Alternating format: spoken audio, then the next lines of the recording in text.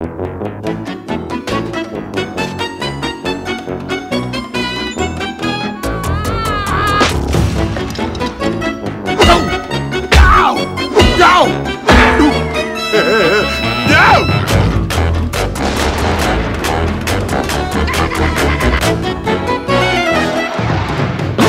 abrazo, bienvenidas a todas y todos. Este es vuestro programa en boca cerrada, no entran podcast. Bienvenidos a la tercera temporada, iba a decir segunda, a la tercera temporada ya. Y hoy me acompaña un invitado de excepción para estrenar temporada. Alguien que fue nominado por el penúltimo invitado, que no es, no es otro que el señor Rubén Burón, alias Buri, ¿qué tal? Hola, buenas. ¿Qué tal?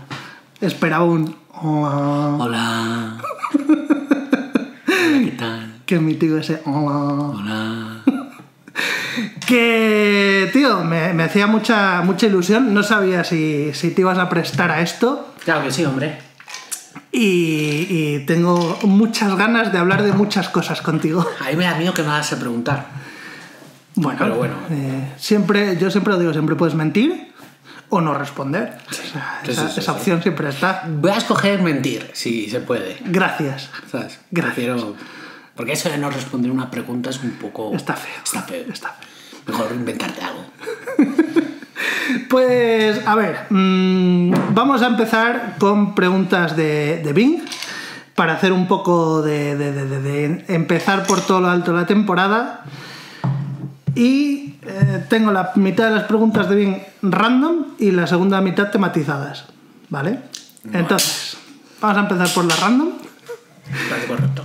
Eh, dice Bing, ¿cuál es el objeto más extraño que tienes en tu casa? Hostia, tú. Y tú eres un tío de tener objetos muy extraños en casa. Extraño.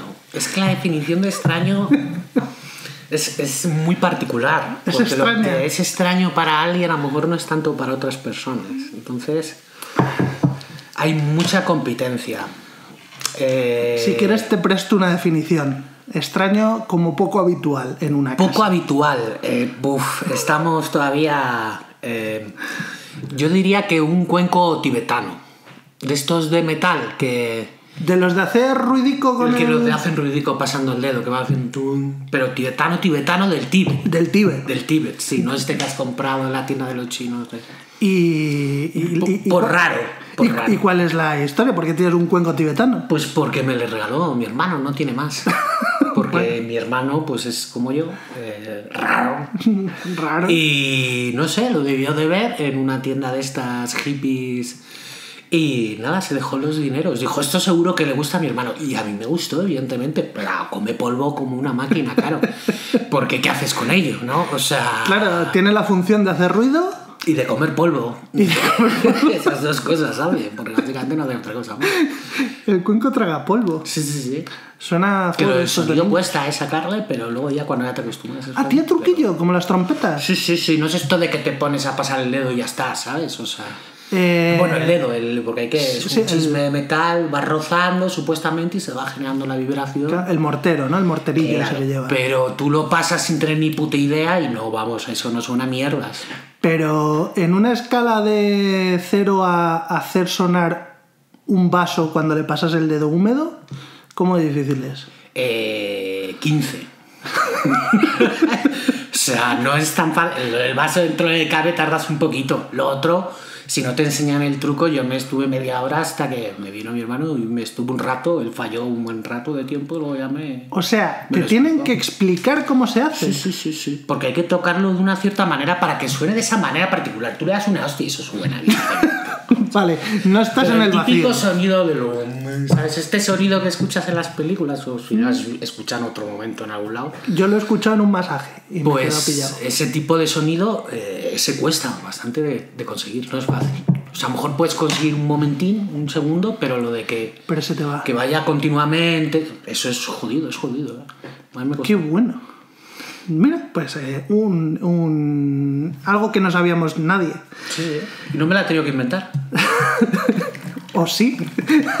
o sea, como nadie tiene un cuenco tibetano en casa, nunca lo sabremos. Eh, hombre, pero bueno, yo creo que es accesible dentro del cabe a comprenderlo. Vamos, pero... Venga, siguiente pregunta. ¿Qué es lo más loco que has hecho por una apuesta? Uf, por una apuesta. Por una apuesta. Yo es que no apuesto tampoco mucho, la verdad, ¿eh? O sea, no soy la típica persona que dice, voy a apostar. El dinero, por ejemplo, no apuesto nunca.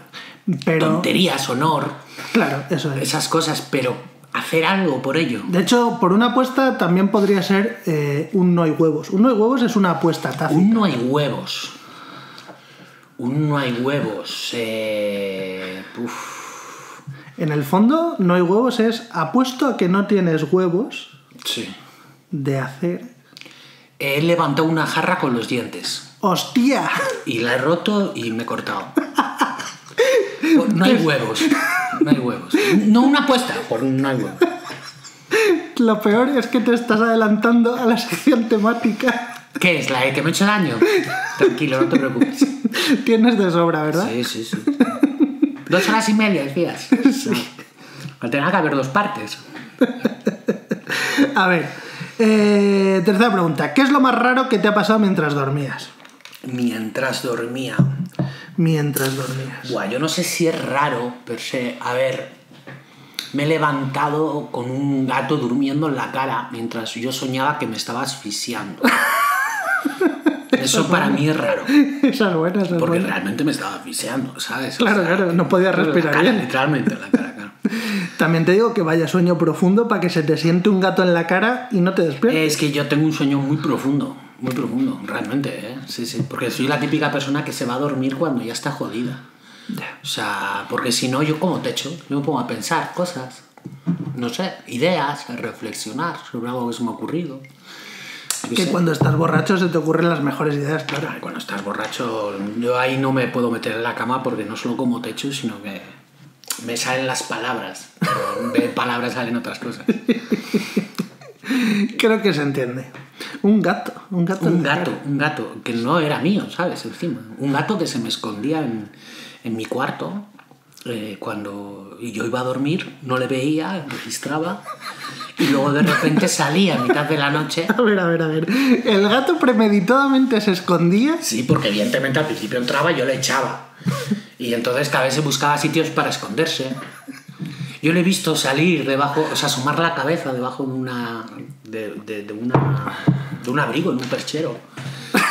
¿Sabes? Apoyado ahí como en el bolsillo interior y estaba como escondido. Era un gato creativo, ¿no? No se escondía siempre en el mismo sitio. Sí, sí, sí, en el armario, debajo de la cama, en 20.000 lugares. Qué cabrón lo que hacía el puto gato por hacerte un mortadelo. Por joder, porque sí, luego hacía mortadelos, claro, luego hacía ese tipo de cosas. Son gatos, qué sé. Putos gatos. Vale, eh, eh, creo que ya se viene la... Sí, ya se viene la sección. Eh, ¿Tienes alguna cicatriz con una historia divertida detrás? ¿Cuál de todas? La que más graciosa sea. La que más graciosa sea. Eh, la que más graciosa sea, yo creo que es la apendicitis. Porque una cicatriz no muy grande tampoco. Y aún eso, ya el, el- el cómo se originó fue gracioso. O sea... Porque se te inflamó el apéndice. Claro, sí. Bueno, eso en general no tiene gracia. Pero lo que es alrededor, sí. O sea, estaba con el señor Javi. Bien, un, saludo conoce, Javi. Sí, un sí. amigo nuestro. Y, y fuimos a por un kebab. Éramos jóvenes y normal y corriente, nada del otro mundo. Y yo es la primera vez que comí un kebab en mi vida. O sea... Hostia, ha encima llovido. No me gustó nada. Y entonces, en mitad de la noche, Incluso se podría decir que le cogiste manía. mal. Sí, sí, bueno, por eso le cogí manía, evidentemente. Mitad de la noche es cuando yo empecé a notarme mal. Mal, mal, mal, mal. Claro. Y ahí es cuando pues ya yo empecé a quejarme en esa época todavía, pues que tenía 16, 17 años, o sea, estaría viviendo, claro, vivía con mis padres, ¿no? Entonces ya desperté a mis padres, se lo conté y me llevaron a urgencias. Y claro, era un sábado noche, eh, pues madrugada de domingo, me cogieron en urgencias, me venían ahí los médicos. Tú todo esto pensabas que era culpa del kebab. Claro, yo ni pues por asomo nada de esto de una apendicitis, es más, el que nunca ha estado descartado en ningún momento. Que provoca la apendicitis. Claro, vale, que la ciencia no haya estado todavía a la altura de demostrarlo, pero bueno, ya veremos, ya veremos. Creemos, queremos creer. Claro. Y la cosa es esa, que yo ya ahí en el hospital, pues con la cicatriz, que los médicos ahí, pues todos chavales, pues porque eran gente muy joven. Es que claro, los que se comen las urgencias eh, el por la por noche la eso, madrugada, sí. pues exacto, son chavales muy jóvenes. Y todos ahí palpaban y no, no sabían si llamar al médico de urgencias o no. Y palpaban y dolían. ¡Ay! Esto, pues no sé, puede ser algo grave, uno gases, otro, otro ya empezó a apuntar a apendicitis, otro descartaba. Cada vez que me tocaban era horrible. Entonces, Uno, uno decía que esto sería leucemia. Y que como había tomado alcohol, otros preocupados de que yo no, a lo mejor no podía eh, tomar, pues como, yo qué sé, somníferos o algo fuerte. Ah, sí, claro, claro, no te podían poner Tampoco anestesia. sabían exactamente qué era. Bueno, anestesia no, pero algo jodi- algo fuerte porque a mí me dolía mucho, mucho, Ya, mucho. ya, ya. Y ya al final, pues nada, ya al día siguiente, ya después de... Al día siguiente, Sí, pasaste sí, por toda la mañana, noche- A las 8 o 9 de la mañana, toda la noche despierto, sufriendo, horrible. Hostia puta. Eh, pues ya me vino el médico, que era un, pues un cirujano, un médico de verdad, bueno, vino, No- palpó, no era un niño. y me dijo, "Te- mira, a ver, dime si te duele. Palpó, hizo así, ta, ta, dos golpes con los dedos, y dije, ¡ah! Y me dijo, es una apendicitis, venga, vamos a resolver. Puta madre. Entonces me miraban de reojo, casi como con, yo no he sido, tal. Y luego ahí se me jodió, esa cicatriz. Toda la plétora de, pero- de mini, mini doctores ahí mirando asomados al, al quicio de la puerta diciendo a ver qué era, a ver qué era. Ay, ay. Uno, uno diría, yo dije apendicitis. No, no, ya te digo, que estaban todos allí y me miraban, no querían ni mirarme, me apartaban la mirada porque yo les miraba con odio, claro. Con mucho odio, porque le había llevado como 30 segundos diagnosticarme lo que había entrado en el cuarto, me había saludado y tal cosa, ¿sabes? Entonces yo les miraba con mucho odio. Les, le faltó al doctor ponerse las gafas y que sonara la... Tan, taran, tan. Y bueno, pues luego encima me operaron, es cuando descubrieron que estaba pues infectado, que no era una cosa normal, que encima estaba gangrenado, Hostia. me tuvieron que hacer una cicatriz más grande. Luego descubrieron que tenía una cosa que se llama quiste calcáceo, que es como una especie de tumor, pero no es tumor, o sea, es de otro material, es como de calcio, o de yo qué sé, lo que sea. Bueno. Es un tumor La con cosa más es amor. que la cicatriz no era una cicatriz de apendicitis normal y corriente, era una cicatriz, buena cicatriz. Y nada, cuando al final conseguí salir, pues eh, yo a los dos días siguientes Sí. tenía el concierto, un conciertazo, que era el último de Celtas Cortos, supuestamente. El último, sí, sí. Ya sabemos cómo va esto de los últimos. Claro, Celtas Cortos, Mago de Oz, bueno, ¿qué, qué voy a hacer yo?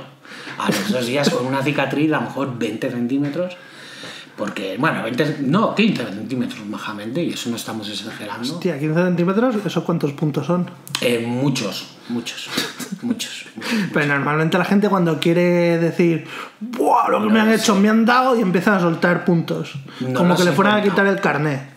Pero son de estos que algunos te dan subcutáneo, o sea, por debajo de la. por- en carne y otros que te pillan con piel y todo. O sea, había de los dos tipos. Hostia.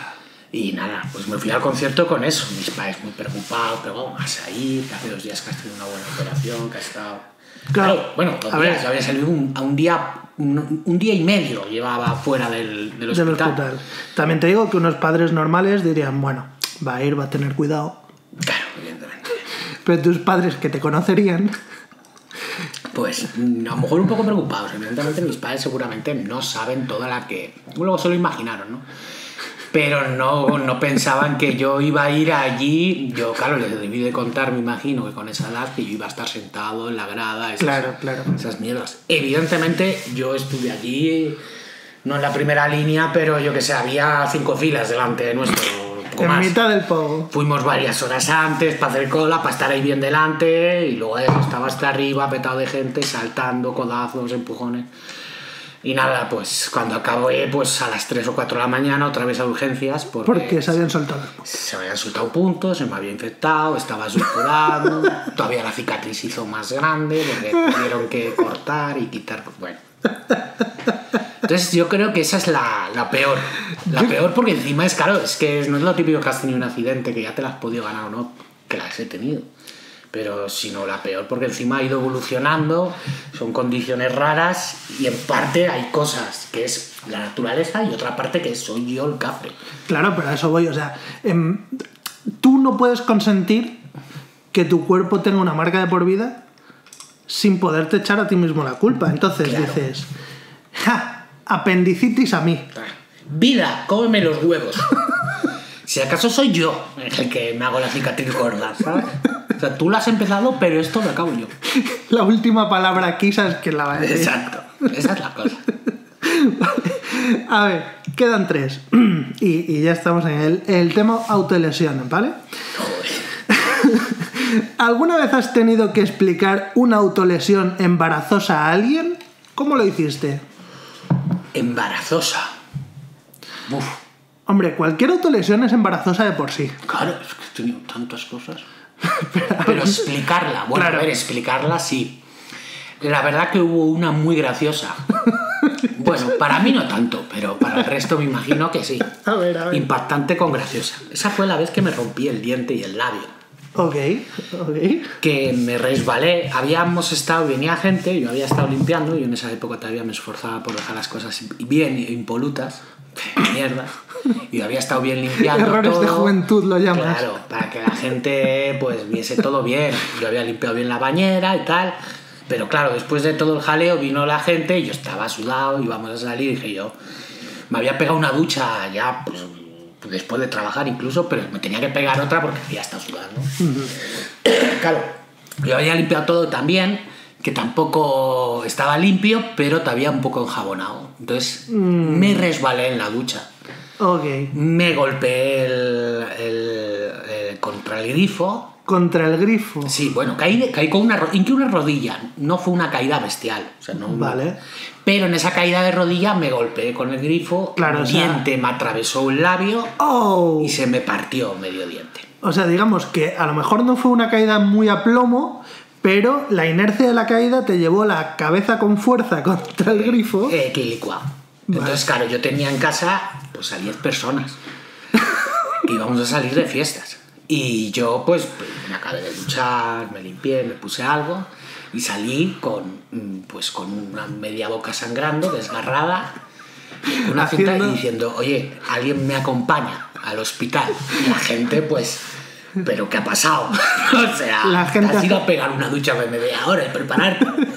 La gente haciendo bromas de que eres un vampiro que no lo oculta muy bien. Pero al principio la verdad que alguno incluso, pues evidentemente con cara de shock, porque la sangre y la situación se veía bastante. Yo, claro, esas heridas luego se te inflaman. Eh, me atravesé el labio, porque evidentemente tenía un agujero que no sé hasta que en cierto punto era visible, pero se veía una herida abierta bien jodida. ¿Pensaste en aprovecharlo para ponerte un piercing ahí, ya que... Pues, ah, pues podría haber sido bien, la verdad. Pero la verdad que es una de las cicatrices que mejor me ha cicatrizado, casi no se nota. Tengo un poquito, pero muy poquito, y con la barba. Y con la barba no... No se nota nada. Entonces, pues mira, oye, casi mejor el piercing lo podía haber dejado para la frente, pero. No sé yo cómo de cómodo sería. piercing en la frente. Eh, hubiese sido jodido, a lo mejor. Pero oye, que no sea por intentarlo. Entonces, así que es verdad que tener que explicarlo fue, pues sí, en media hora me he hecho esto y estoy preparado. O sea, tú te habías vestido ya Sí, para sí. salir. Claro. Olías a colonia y todo. Todo. Solo que ibas sangrando como un cochino. Con la boca y con la cara destrozada, claro. Y entonces dijiste, tu plan era, se lo explico a estos como pueda, Que alguien me acompañe al que me hospital, acompañen, que me echen unas curas el resto se vaya a beber y nos vamos a beber ya con a mí ellos. me cosen, no me hacen lo que haga falta y yo luego voy a beber. Y así pasó. Un plan sin fisuras, eh, valga la Así redundancia. pasó, así pasó. A mí me cosieron la cara en urgencias, la boca, y yo media hora después me estaba tomando un buen vodka. Y esa noche salí pues hasta que cerraron los bares. Bien, bien. Y la verdad es Sí. que el alcohol, otra cosa, ¿no? Pero hace que, que limpia las heridas. Ya, hab- ya habíamos quedado en que a mí la vida no me hace los planes. ¿Sabes? A mí me come los huevos. Me dice lo que me... Vale, tú di lo que quieras, mira, que me quieres matar, inténtalo. Yo ya a estas alturas. Hostia puta. Venga, quedan dos. ¿Cuál es la autolesión, la autolesión más épica que has vivido? Hostia, épica. Es que, ¿cómo puede haber una autolesión épica? Hostia, pues no sé, con música, con la, con la cabalgata de las Valquirias de fondo. La esquí, pero es que épica, épica no es, pero es la más espectacular, si se puede decir. Espectacular, me gusta. Me gusta esa definición. Eh, suena mejor espectacular. Me gusta esa definición. La, de- la de la frente, la de. Vale. De la frente. Esa fue. Pues hombre, pegué un buen salto. Es así. Pero sí, como todo en mi vida, la verdad que encima es inesperado y fortuito y, Y muy muchas gracioso. veces ni siquiera lo causo yo de alguna manera. O sea, la- O sea, a ver, ¿cómo, cómo fue exactamente esto? A ver, yo estaba esquiando en Jaca con unos amigos en el colegio Ok. y eran, bueno, pues entre amigos y gente de un club de esquí y tal. Y estábamos pues allí tan tranquilos, yo ya tenía mi experiencia esquiando, Ok. Pero bueno, hay que decir que evidentemente pues está, tampoco era un profesional, ¿eh? pero vamos, pero tenía mi experiencia. Que ya lo habías hecho varias veces. Claro, pero iba con gente que a lo mejor tampoco, pues, tampoco es que fuesen unos patanes, simplemente que a lo mejor teníamos diferentes niveles, ¿no? Y cuando tú ves a esquiar, eh, eh, una de las cosas que, que verás siempre a la gente es hacer eso típico que van como con los... La cuña, la cuña. La cuña, claro, está la cuña, pero la cuña es de aprendiz un Sí. poco, ¿no? Y luego poco a poco ya cada vez vas haciendo menos cuña y vas ya poniendo los esquís en paralelo. Ya, y en paralelo a hacer- quieres hacer lo del zigzag. Exacto. Vale. Yo ya estaba en el nivel un poco de paralelo. Sí. Tampoco había empezado. O sea, tampoco era lo típico de que era un nivelón, pero vamos, yo ya perfectamente me defendía sin problemas. Ok. Entonces nosotros estábamos allí y pues vimos una pista que habían cerrado supuestamente por baja nieve, entre rocas. Y era una pista que Supuestamente. muchísimo porque era como un camino que se iba haciendo entre rocas. Lo que pasa es que sí que es verdad que como que había un poco de baja nieve y como que había en los bordes rocas sobresaliendo. Claro. Pero había de sobra sitio para esquiar. Y bueno, pues evidentemente yo fui con un amigo. Pero, a ver, eh, has dicho que estaba cerrada. Cerrada, cerrada, no es como que, que tuviésemos que saltar un muro, ¿sabes? Habría una cinta diciendo aquí no. Y nosotros pasamos por debajo de la cinta, porque por encima es un lío con lo de los esquís. Ya, ya, ya, ya, ya. Pero poco más. Esto sería el equivalente a ver un cono en la carretera y decir, si yo el Yo cono este le paso paso. por encima. Claro. Si no pasa nada, yo el, el cono le paso. ¿Quién ha puesto el cono? Si no Claro. me evita pasar. Eso es. Eh, Pues lo mismo. Qué cretino, pensaba que me iba esto Claro. a impedir. Vale, sí. Y eso, ponía una alerta de baja nieve y tal, y había visto, había alguna más en otros lados, pero esa era como, joder, ¿cómo vamos a desperdiciar esto que venimos aquí? y la verdad que muy bien. ¿Cómo vamos a desperdiciar? La hicimos bastante chula y, y molaba y visualmente y tanto la experiencia muy bien y no tuvimos ningún problema hasta el final. Vale. Entonces, O sea que echasteis un día fabuloso. Sí, bueno, a ver, no habíamos estado mucho. La pista a lo mejor se tardaba en recorrer un poco, 10 minutos, 15, tampoco una locura. Pero que moló, vamos. Y cuando ya nos íbamos a incorporar, pues el problema es que sí que era. sí, la incorporación era como que venía a la altura de varias pistas rápidas, negras, que llaman, ¿no? De esta donde la gente Sí. viene rápido. Sí. Y hay mucho cafre, y había mucho chaval. Entonces había gente que venía a lo que le llamaban a huevos, ¿sabes? Se pone en línea recta y a ver si pueden romper la velocidad del sonido, ¿sabes? Ese tipo de cosas. Pues la cosa es que como había rocas, vimos a alguien pasando, nos sorprendió simplemente, eh, mientras nosotros como nos pues como una carretera que se Que te incorporas se a una une autovía. Exacto, ¿no? Entonces, justo cuando en ese momento vimos como que pasó alguien de golpe y nos pegamos un susto porque pues, casi nos impacta y tuvimos que girar. Entonces, en esos gires, pues yo giré mis dos esquís. El otro compañero que no estaba tan acostumbrado, pero daba igual también el estilo, hubiese pasado lo mismo. Sí, claro, un si poco de. La cosa está en que me puso el esquí encima. Vamos, bueno, nos, nos pisamos los esquís. Me pisaron los esquís. Entonces yo salí disparado. volando. Literalmente volando. Bendito sea el que inventó el sistema de que se separan los esquís. Claro.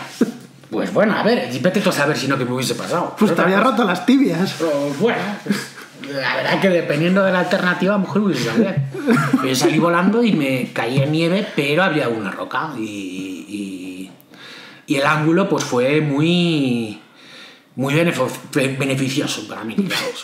O sea, a mí el médico al final me dijo que, bueno, que a mí cualquier cambio pequeño en el ángulo en que como yo me clavé una roca picuda habría sido mi muerte, me habría, se me habría roto el cráneo como un... o Como una nuez. Claro, el- el- básicamente la, la piedra entró en mi cráneo como con mi frente como quien corta, como quien pela una patata, poco más. Bien. Claro, se me introdució varios centímetros en mi piel y me hizo un poco en el cráneo, pero poco, muy, muy poco. Sobre todo fue todo piel de mi frente. Pero claro, una inclinación pequeña, en vez de eso, como un coco. Como, como una bala que te da en la oreja. Y yo ahí me levanté y bueno, aparte de lo espectacular del salto, pues eh, para quien haya sufrido heridas en la nieve, eh, lo- a lo mejor lo ha experimentado, pero digamos, yo me levanté tan, tan Ricky Martin. Sí. Con la emoción, la adrenalina, el frío, no te enteras. Pero eh, yo tenía delante de mí a un compañero, unas personas nos habían visto, se acercaron un poco de lejos y estaban todas pues blancas, como la nieve. No como la nieve que No estaba como la nieve que estaba debajo mío, claro. Porque claro, cuando tú un- tiras una gota de sangre en la nieve y muchos otros líquidos, Hace así. se expande. Se expande. Entonces yo llevaba un ratito chorreando y el suelo mío parecía eso, vamos, dantesco, en serio. O sea, parecía un charco y no había sangrado tanto, en verdad. ¿no? Tú en realidad eres de los mayores donantes de sangre involuntarios que hay en el Sí, mundo. sí, sí. El mundo está lleno de mi sangre, vamos. O sea. Como los perrillos- Llego a ser soldado y, pues bueno, pues estaríamos chapoteando todos. Como los perrillos que van meando por ahí para marcar su territorio, tú vas sangrando, Claro. En esa montaña sangré yo. me pertenece. Claro. Se ha sangrado y ya es tuyo. Ya es tuyo. Eh, nadie, nadie ha dado más por ella que tú. Nadie, de toda la vida, sí. Bueno, vamos con la última, bastante épica, por cierto. Eh, ¿Cuál es la lección más importante que has aprendido de tus lesiones, de, auto- de tus autolesiones accidentales? Puf. ¿Qué he aprendido? Como una de las cosas que más me gusta a mí decirle a la gente, ¿qué has aprendido? Sí, sí, es que me recordó Claro. mucho a ti en la pregunta. Es que es una de las cosas que yo reflexiono, pero la que más, ¿sabes? De la que más haya aprendido yo. Pues yo creo que mm, de heridas de estas, de, de haber aprendido de inocencia, de, de cualquier cosa, puede ser peligroso. Puede matarte. Claro, claro. Esto yo no sé si tú estabas en mi casa, fue cuando se me cayó la tapa, una tapa, no sé si te acuerdas, de cristal, La del pie. del pie. No, eso era en Madrid, yo no estaba, pero me No, has no, contado. Valladolid, Valladolid, esa fue en Valladolid. Ah, claro, no es que en el pie te has cortado como siete veces, ¿no? Sí, sí. Ah, bueno, no, la de la planta que casi me desangro, no. Claro, no. La, fue una en la que también, pero fue en el tobillo. Yo creo que estaba. no, Ah, en el tobillo, hostia, sí que me estaba en la cocina y cayó Sí. una tapa de cristal como 5 centímetros. Sí, sí, sí, sí, me O suena sea, así. de un cajón de abajo de estos que abres, que está en la parte de abajo hasta el suelo, que hay 5 centímetros. Y cayó 5 centímetros y el cacho más grande, de- o sea, una tapa grande, claro. O sea, el cacho de cristal más grande que sobrevivió a lo mejor tenía, yo qué sé, un milímetro de ancho. O sea, fue espectacular cómo todo explotó.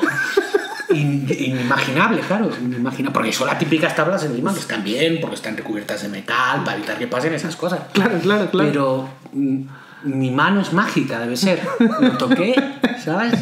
Más poderoso que Magneto y, y, y explotó. Y el cristal este salió disparado, me cortó el tobillo y sangre, una barbaridad.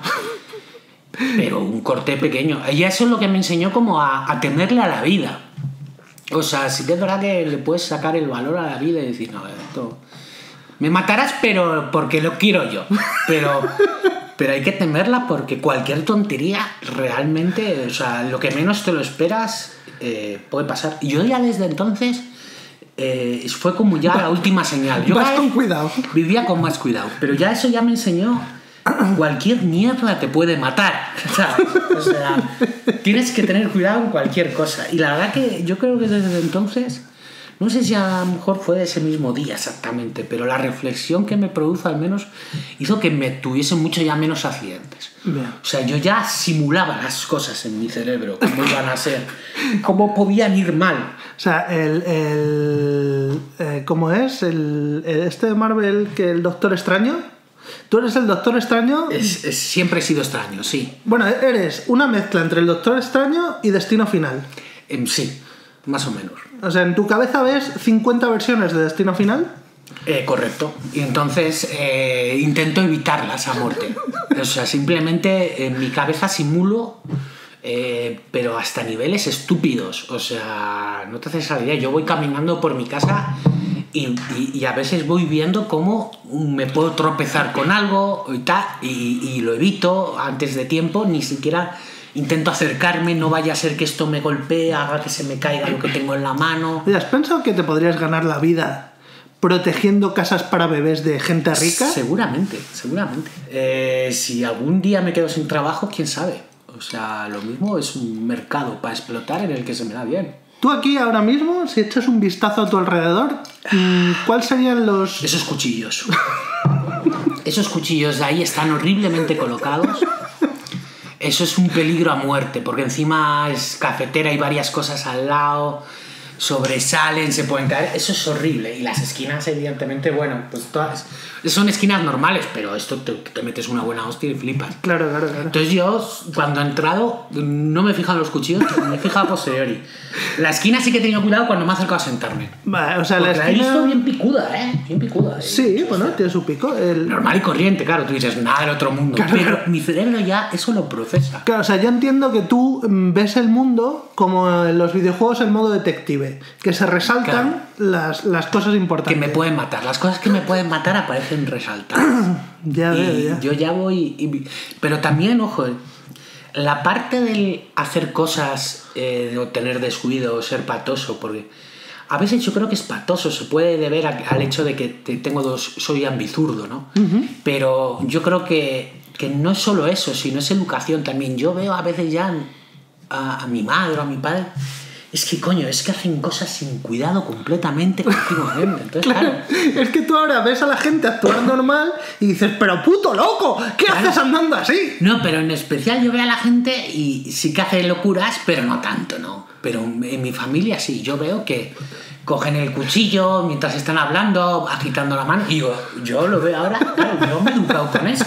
Entonces como que me- seguramente a mí me ha parecido normal durante mi vida el ver un cuchillo y estar así, eh, explicando las cosas con la mano con un cuchillo. Yo ahora eso lo veo y pido, madre, pero para, pero, pero tú, pero, ¿has visto lo que te puede...?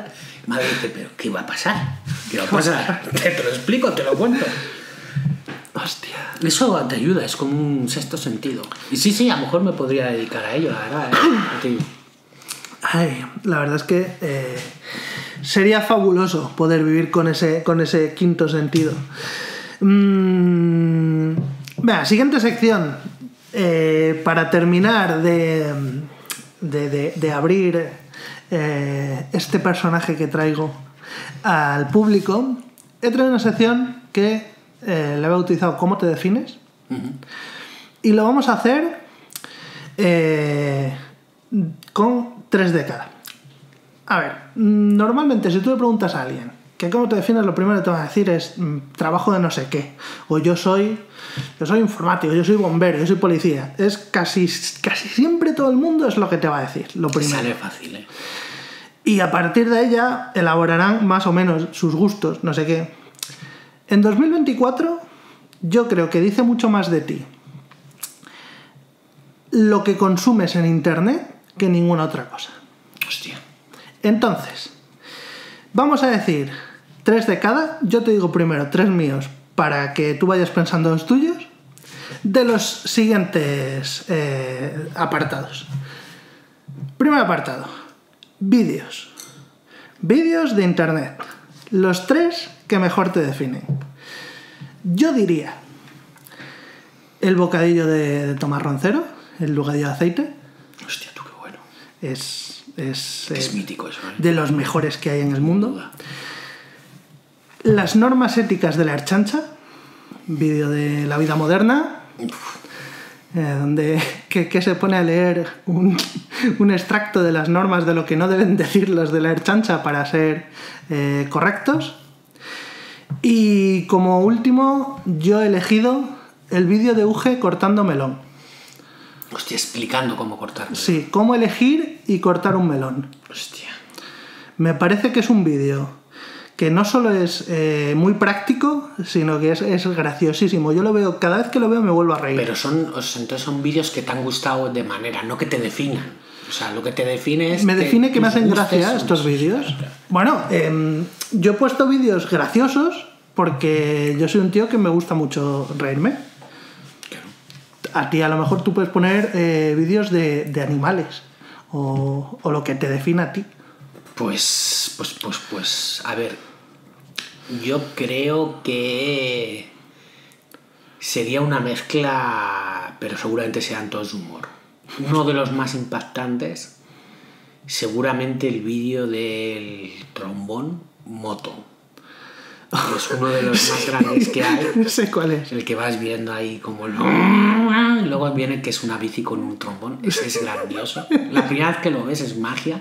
Eso es muy Y bueno. luego si lo ves cada X tiempo te vuelve a hacer gracia. Sí.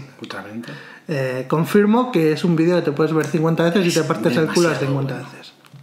Luego yo creo que sería otro vídeo del de, el de Malviviendo, el de, el, de lo- el vídeo del reggaetón, Sí. ¿cómo se llama?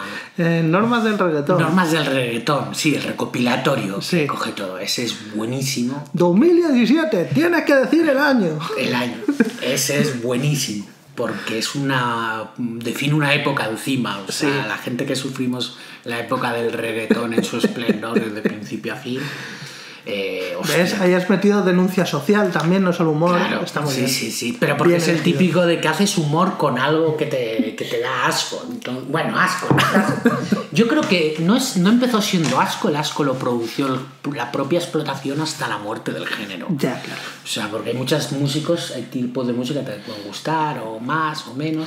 Es verdad que hay pero música- cuando te explotan con un género que no te gusta a muerte, porque fue a muerte, yo creo que te empieza a dar asco. Sí. Hay música peor que el reggaetón.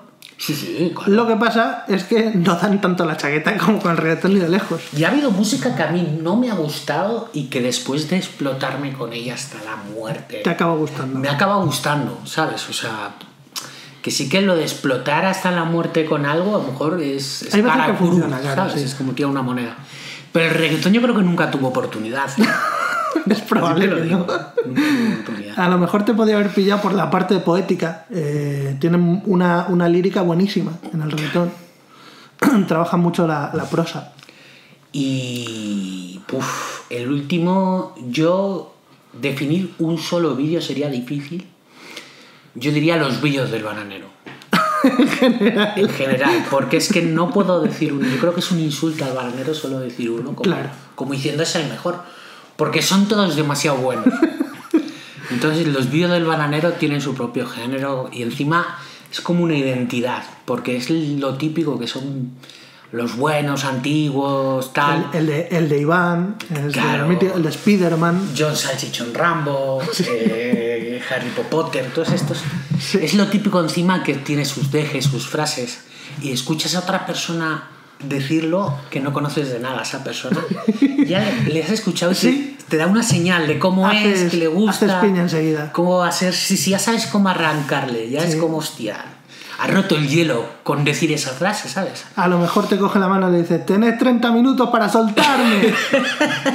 Te doy 30 minutos para saltarme. Buenísimo. Grande el bananero. Muy grande. Y encima después, porque yo al principio conocía al bananero solamente de lo que producía. Sí. Y luego le he visto eh, entrevistas hablando un poco de él, sus problemas que tenía y muchos, y sus aciertos, todo, ¿no? Y hostia, tú le he descubierto como persona y, y no solo como persona que era... No solo el personaje. Claro, no solo el personaje y, y me ha parecido entrañable el, el personaje y la persona. Entonces, hostia, me alegro porque hay muchas veces que ves un producto generado por alguien que te, engan- te encanta. Luego conoces a la persona que lo ha generado y, Y dices, qué asco me das. Qué asco me das. ¿Cómo me, ¿Cómo me puede gustar esto? Te sientes mal contigo mismo. Ya, ya, ya. Y en estos casos, pues joder, es un alivio y encima un gusto, ¿sabes? Te gusta más lo que antes te gustaba, de alguna manera. Eh, mi- mis dieces por la selección de vídeos me ha Claro, parecido sublime. GIF. Yo te voy a decir el de la niña con sonrisa maléfica que, que murió el año pasado o por ahí, me parece. Eh, me suena, me ¿La suena, niña? me suena mucho eso. Ha muerto de, de adolescente. Eh, Dios la tenga De su vivir, gloria. de vivir. Ha muerto de vivir, es verdad. Eh, luego, el de la niña gordita diva, esta está con un micrófono y hace así con el pelo para atrás. Ah, La niña gordita diva. queda mal decir que asco, pero qué asco. Y por último, el de Dwight con la peluca de Meredith. Uf, está muy bueno ese. Dwight con peluca se da la vuelta y es él. Ah, ¡Qué grande es! El robo de identidad. Uno tuyo yo le sé. Adelante. Bueno, ¿Cuál? Dile, dile. A ver si aciertas uno. Eh, hombre, uno tuyo es el de el tipo de los rizos que pone una sonrisa y poco a poco se va girando a cámara. Tipo el Nacho Libre. ¿Cómo? Nacho Libre. Nacho Libre. Libre. Libre. Claro, es el de escuela de música, de escuela de rock y tal. Ni puta idea. ¿Cómo se llama ese tío? No me acuerdo el actor. Es que los nombres de los actores no me acuerdo. La película de Nacho Libre, que era. Pues es hacía de Breslin. Ah. La película es muy coña y solo tiene escenas buenas porque el resto es mala. Y también hizo Nacho, eh, pues eso, Escuela de Rock y alguna película más ahí. No me acuerdo cómo se llama, pero es un actor famoso. Escuela de Rock es la de Jack Black. Jack Black es ese. El de los rizos. ¿Ese es Jack Black? Ese es Jack Black. El de los rizos. No jodas. Ah, claro, es verdad. El Nacho Libre. ¿Qué es eso? Hostia, pues en el GIF no le los hace de un mexicano que quiere ser estrella de Breslin. En el GIF no la había reconocido, tío. Es que está bastante cambiado. ¿eh? Hostia, qué grande. Es el puto Jack Black. Sí, sí, sí. Jack Black. ¿Era ese uno de los que ibas a decir? Sí, sí, sí, sí. Vale. Sin duda, sin duda. Yo me imaginaba que tirarías por el de Sack. El Sack Cat. El de Sack O'Neill. ¿Cuál es el de San Miguel? No, que no. Ah, no, que ah, sí, sí, sí, sí. racista. El, el negro. Que está así moviendo un sí, sí, sí. y hay un gato que le responde. Ese es el mejor gif de la historia que se ha hecho y se hará. El negro calvo que pone morritos y se menea y el gato se menea igual que él. menea a la vez. Ese me representa totalmente. Lo uso mucho y me encanta. Y tres, ¿no? ¿Y el último? El último, es que hay. Yo creo que el, el de la cabra, que abre la boca. Ese es el, el mejor, el que es, es que las cabras son demasiado graciosas. Bueno, hay muchos, hay ojo. muchos de cabra, que, muchos gifs de cabra, pero es eso, el, el- el- espíritu del meme de la cabra que abre la boca y saca la lengua Sí, sí, sí, de sí. manera desproporcionada. ojo con decir que las cabras son muy graciosas. Lo son. Que la las cabras de Damasco son, Ah, las he visto, enormes, son enormes y como con, caballos. y, y con, con aspecto satánico. Son, parecen Y deformes. feas como Leticia Sabater. Peor incluso. Peor inclu- bueno, Bueno, antes de operarse. A lo mejor no, pero después es que es muy difícil ya llegar a la altura de eso. ¿sabes? ya, sí, sí. Serían el equivalente cabruno a Leticia Sabater en humano. Claro, tendrían que operarse las cabras para poder llegar a alcanzar. Además es que me flipa las cabras de Damasco. Tienen unas orejas gigantescas. Las orejas les llegan al suelo. Bueno, a ver, no es, Bueno. es exagerado, que está bien exagerar siempre. Pero sí, sí, sí, son enormes. Pero a mí lo que más me impacta es que no se parecen en nada a una cabra. A una cabra, no, no. O si- o Se parecen dicen, en una cosa. En que tienen la pupila de los ojos más rara del reino Eh, animal. Sí, sí, sí, es verdad. Eso Y, es verdad. y todas las cabras tienen la pero misma. poco más. Bien, bien, el de la cabra, me gusta. Eh, tercera categoría y penúltima, emojis. Hostia. Este a lo mejor coincidimos en uno, eh, que es el de la luna negra. Muy bueno. El de la luna negra yo le uso Sonriendo. muchísimo. Sí, la luna negra sonriendo. Eh, luego he puesto uno que es un emoji que solo tengo en el Slack de- del trabajo, Hostia. que un compañero de trabajo hizo el emoji, cogió el emoji de reverencia, le puso mi cara y lo llamó roverencia. Reverencia. Y le uso todos los días. En, en el trabajo todos los días uso reverencia. Y el último, el del abrazo. Un abrazo es muy bueno también. El abrazo no podía ser de otra forma. Pues no sé, la verdad. En mi caso, ¿qué uso? Hombre, el de la luna negra lo uso bastante. Sí. Pero mirando, el que, el que mira, el, el de la luna esa que mira como de... de En la blanca es, la que tiene los ojos abiertos. También esa, es que entonces es como una combinación Sí. de medias. Pero contarles como dos emoticonos diferentes sería mucho. El del pato. El pato, sí. El pato, El pato usas por mucho. todas las interpretaciones, ¿eh? por si acaso, ¿eh? sin sacar temas a colisión, todas las interpretaciones, no solo por eso. Vale, vale. El pato es tremendo, El pato. porque es un pato. Sí, Entonces, claro. ¿qué puede significar un pato? Pues eso, cuando no tienes nada que decir, pero lo quieres decir todo, pones un pato. Y el ojo, El ojo, el ojo normal. el un ojo ojo abierto. normal. El ojo normal. Y puedo, yo puedo poner muchos emoticonos, pero el ojo normal yo creo que es el que pones un ojo normal a algo y ya está diciendo, ojo. ¿Qué es esa expresión que yo no sé quién la trajo? Puede ser Valles, a lo mejor. El que me ha traído aquí directamente, ¿no? Sí, Valles dice mucho eso de ojo, Ojo, ojo, ojo. Yo creo que fue el que lo trajo al, cuando... Porque hay cosas que sí que lo trae alguien al grupo y lo propaga. Sí, sí, Luego es difícil seguirle el rastro porque ya lo usa todo el mundo. Claro. Yo creo que originalmente pude, esa es la típica expresión que a lo mejor trajo Valles. No lo sé por qué, pero me viene a la mente. Pero es buenísima, es el ojo, ¿sabes? O sea, que es el que le puedes usar para cualquier cosa. Ya, tiene mucho... Entonces, si quieres transmitirlo bien, ese emoticono, hostia, digo. En la categoría emoji es la más fina de todas porque es la más sutil. Pero también es la que más dice de uno. Bueno, no sé yo, ¿eh? ¿Por qué no?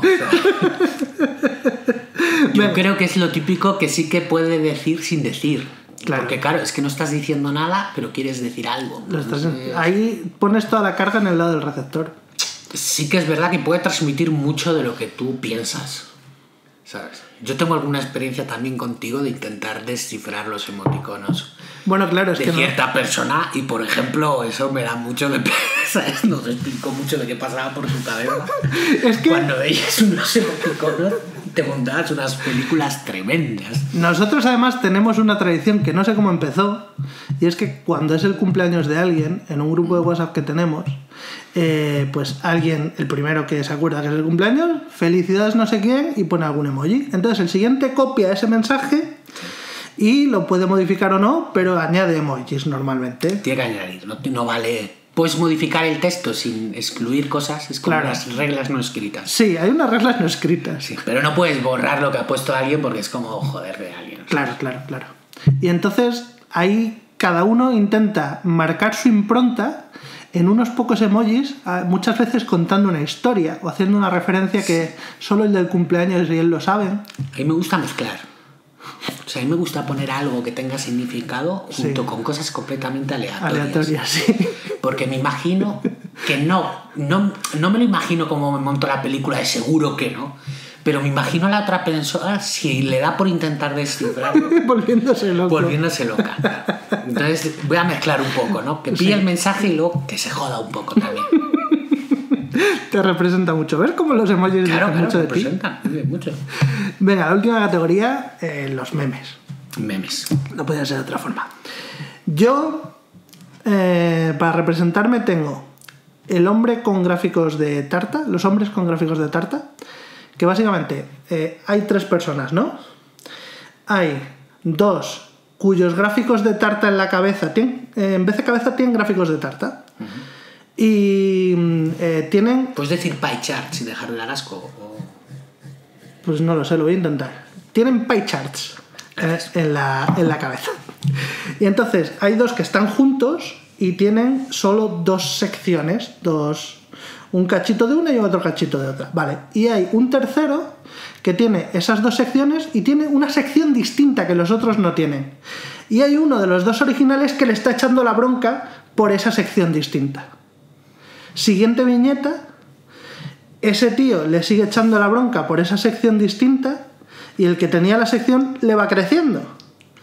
Y en la última viñeta eh, le sigue echando la bronca, el que tenía la sección distinta ya, la mayoría es la sección distinta, y el otro que estaba observando y que pensaba como el que echa la bronca tiene un cachito de esa sección distinta. Moraleja, no seas turras. La moraleja es... Iba a decir, me vas a decir moraleja al final, ¿no? Sí, sí. si lo has hecho sin decir nada. La moraleja es eh, cuando tú le echas mucho la bronca a alguien porque piensa algo que tú opinas que no debería pensar, lo único que vas a hacer es incrementar ese pensamiento en su cabeza. Sí. Bueno, a ver, es un poco, es un poco de moraleja, pero, pero es la moraleja tonta, ¿no? O Es la moraleja tonta, pero, pero es así. Pero es así, ¿no? Es la realidad. Más que moraleja es la realidad. Es la realidad. Es así. Porque moraleja normalmente yo creo que es un poco como tienes que sacar una el recapacitar de algo, ¿no? Y sacar una conclusión para mejorar, pero eh, eh, que es como intentar hacer una impronta de una mejora de, de algo en la vida. No des la turra. Es la, la moraleja es no des la turra. Bueno. Tu manera de ver las moralejas son un tanto... Moraleja. La del no- perro y el lobo, a lo mejor vete tú a saber, ¿sabes? La moraleja que sacas tú. Hombre, La pues historia en la de perro y el lobo, No, la, la la moraleja, ciudad. la moraleja está clara. A los que les van los furros eh, van, se van a morir. No sé. Totalmente, es lo que todo el mundo piensa en sus casas. Si te van los furros, tienes los días contados. Es la decirte, ojalá me hubieses podido enseñar ese meme en vez de contármelo, pero luego pensás, estamos en un podcast, ¿de Claro. qué sirve que yo lo vea? Eso es. Si la gente O sea, luego tú tienes que estar es. igual de jodido que los que lo escuchan. Ya, ya, ya, ya. No, eh, pero mm, no lo he visto en mi puñetera vida. Pero me he hecho a la idea de lo que has pasado. Bien. Sí, sí, sí. Bien. Luego después ya te lo paso. Sí, sí. Ese es el primer meme. El segundo son unos cavernícolas que van con un coche con ruedas cuadradas. Y entonces hay otro cavernícola que se acerca a ellos con unas ruedas redondas y los otros le dicen, no gracias, estamos muy ocupados. ¿Sabes? En plan, Sí, sí, sí. no, desde la tour, es- estamos muy ocupados. Vale. eh, y el último, bueno, el último es, es una sección, igual que has hecho tú con lo de los vídeos de, del platanero, del bananero, pues yo aquí he hecho como una recopilación que es memes de chinos. Me encantan los memes de chinos. Soy muy fan de, de estos que sale una foto de un señor chino y debajo pone eh, Holy fuck o eh, Holy shit. ¿Sabes? Como que se llama así. Holy shit. De muerte, vamos.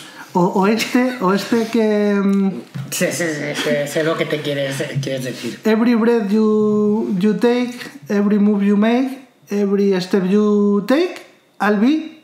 Y pone watching you y sale la foto de un chino que es watching you. Es el típico humor tonto que te saca una sonrisa, pero a ti te hace una gracia impresionante. Muchísima, Ya, muchísima ya, ya, gracia. Sí que dicen de las personas. ¿eh? O Sí, ¿verdad? Sí que dicen las personas. Yo sí que es verdad que hay a veces que veo el- la típica cosa en Twitter o en algún lado que, que me saca una sonrisa y digo, qué malo, y me muevo. Y pienso por dentro, esto, esto Robert se partiría.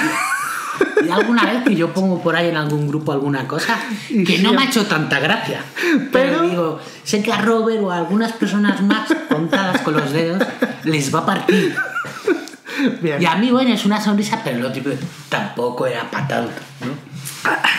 Eso, eso te define como un buen amigo. Bueno, puede ser, puede ser. Yo creo que es la parte en la que la gente disfruta viendo a otras personas disfrutar. La- creo que lo llaman empatía. Y, y yo creo que eso, en especial a mí con el humor, eh, Sí. me, me afecta. O sea, me- soy una persona que en esas cosas, por ejemplo, sí que comparto mucho, paso, por eso mismo, porque yo creo que eh, es parte egoísmo. O sea, yo disfruto viendo a otros Viendo a otros disfrutar. disfrutar. sí. Eh, Entonces, eh, ¿qué es lo típico? ¡Ay, qué buena persona! No, no. Lo hago porque Lo hago por mí. que, tú, lo- que tú lo pases bien es un subproducto de mi bienestar. Bueno, pues elige tú. Uh, memes que me gustan, básicamente. Memes. que me gustan. Es que yo creo que es imposible pasar el del muñeco este que mira de lado. Ah, claro, sí. Ese es imposible pasarlo Sí, porque es bastante reciente, por mucho que sea antiguo.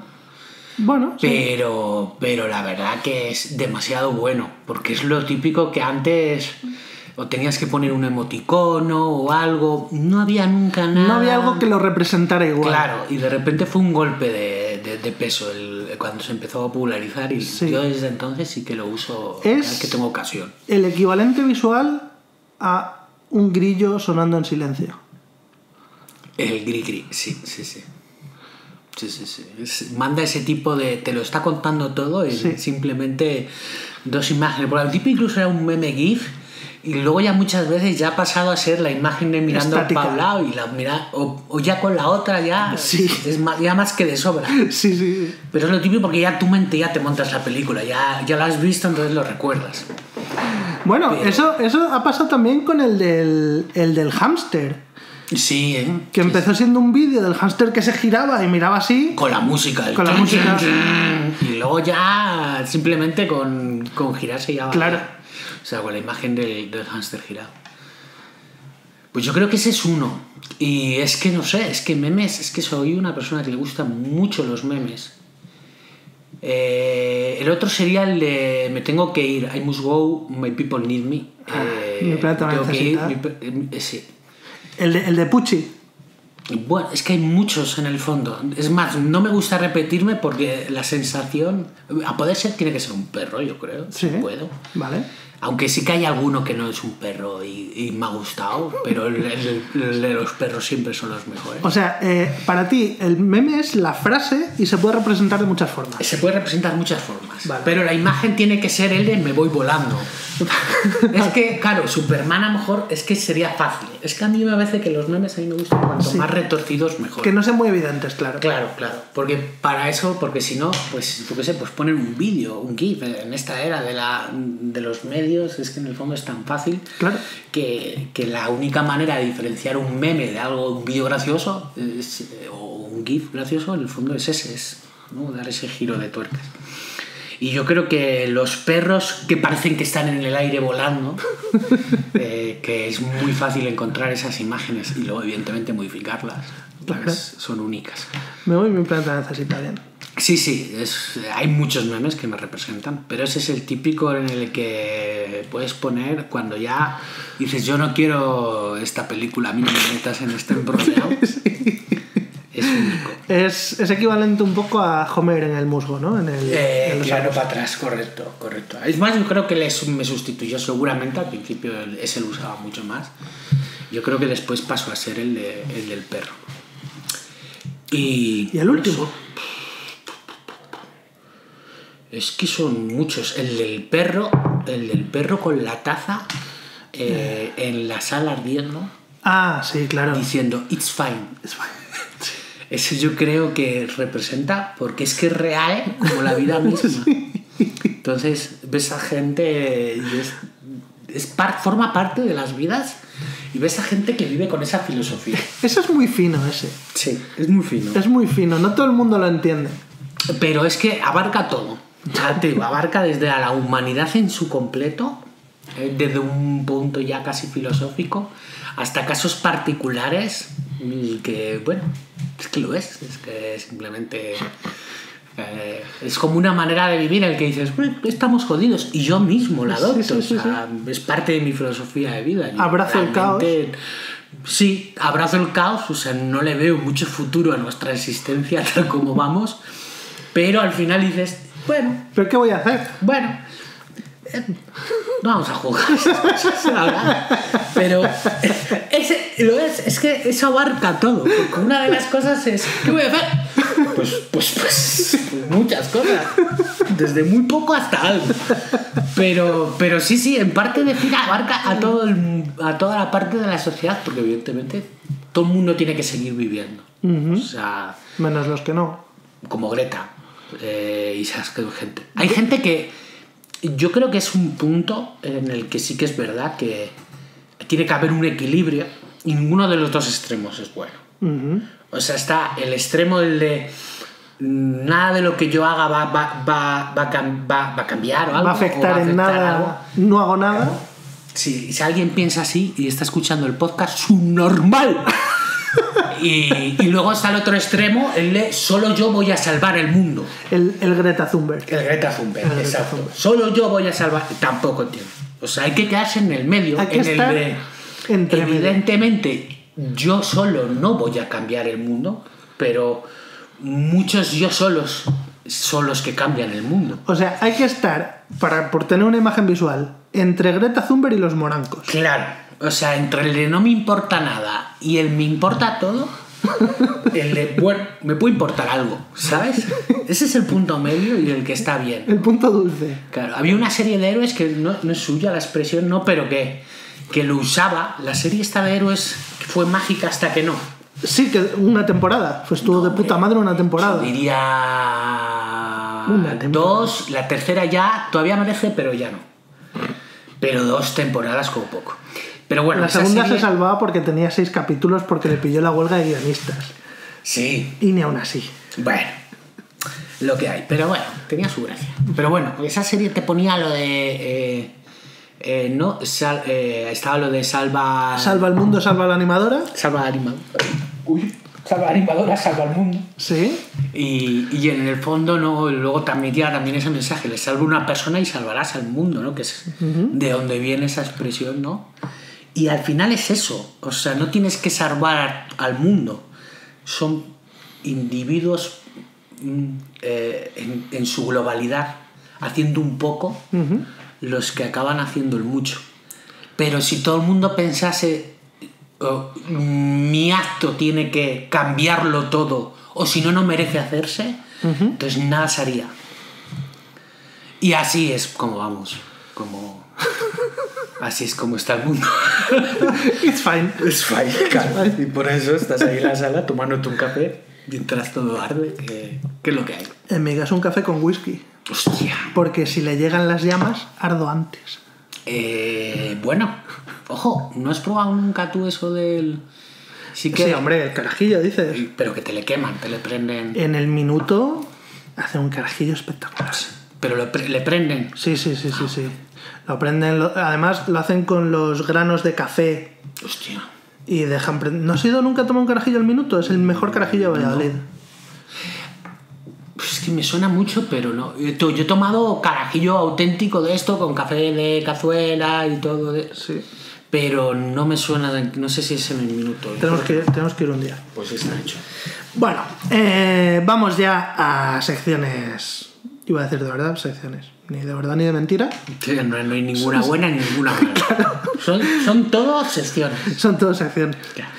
Eh, a ver, mm, estuve eh, viendo en, en internet, ¿vale? Así lo hilo con lo de antes, que había un programa de televisión que hablaban sobre ateísmo, ¿vale? Hostia. Y entonces tenían al teléfono a un tío muy católico. Y el presentador le preguntaba si tenía alguien en su vida a quien quisiera. Tú tienes a alguien que amas, tú, alguien en la vida, tú amas a alguien. Amar. Amar, querer. Pero es que amar y querer, amar, querer, evidentemente yo creo que amo y quiero a mi familia. Por Incluso ejemplo. te diría a mis amigos. Claro, sí, sí. Pero claro, evidentemente hay muchos niveles diferentes. Bueno, pero la, la cosa iba así. ¿Tienes a alguien a quien ames? Sí. El tío decía, sí, como tú. Y entonces le pregunta, ¿qué tendría que hacer esa persona para que tú, le decía al, al del teléfono, para que tú pienses que merece pasar toda la eternidad ardiendo en el infierno? A, a- a esa persona que tú quieres, ¿qué tendría que hacer para que tú digas, sí, yo creo que lo mejor que puede pasar es que de aquí a la eternidad te quedes ardiendo en el infierno y te pudras. Es muy difícil. Si te digo la verdad, hay mi mayor odio hacia alguien al final normalmente viene de calentón. Y luego al final acaban siendo indiferencias. Sí. Entonces, desearle eso a alguien, Una Yo- eternidad de sufrimiento. claro, yo creo que no lo desearía ahora en verdad a nadie. A nadie. A nadie. Y mira que hay gente, Hija de puta. hija de puta, que se lo merece. ¿eh? Que se lo merece. Ojo con, con la elección de palabras que has elegido. Que se lo merece. Que se lo merece. Pero no se lo deseo. No se deseas. Claro. En el momento, en el calentón, sí. Pero en frío no. ¿Sabes? O sea, hay por ahí gente ahora cometiendo genocidios y tal, ¿sabes? Que se lo merecen. Sí, sí. Pero no se lo desearía en verdad en frío. En el caliente, viendo justo unas imágenes, escuchando una noticia. Pero después no. Porque no ¿En me- frío no? Porque no me produce. No me produce nada al final. Entonces, si eso mm, no lo siento por nadie, es imposible, yo creo que una persona que quiera pueda acabar haciendo eso. Entonces la pregunta es: ¿Dios ama a los hombres? Es que no lo sé. Es que yo era religioso de pequeño.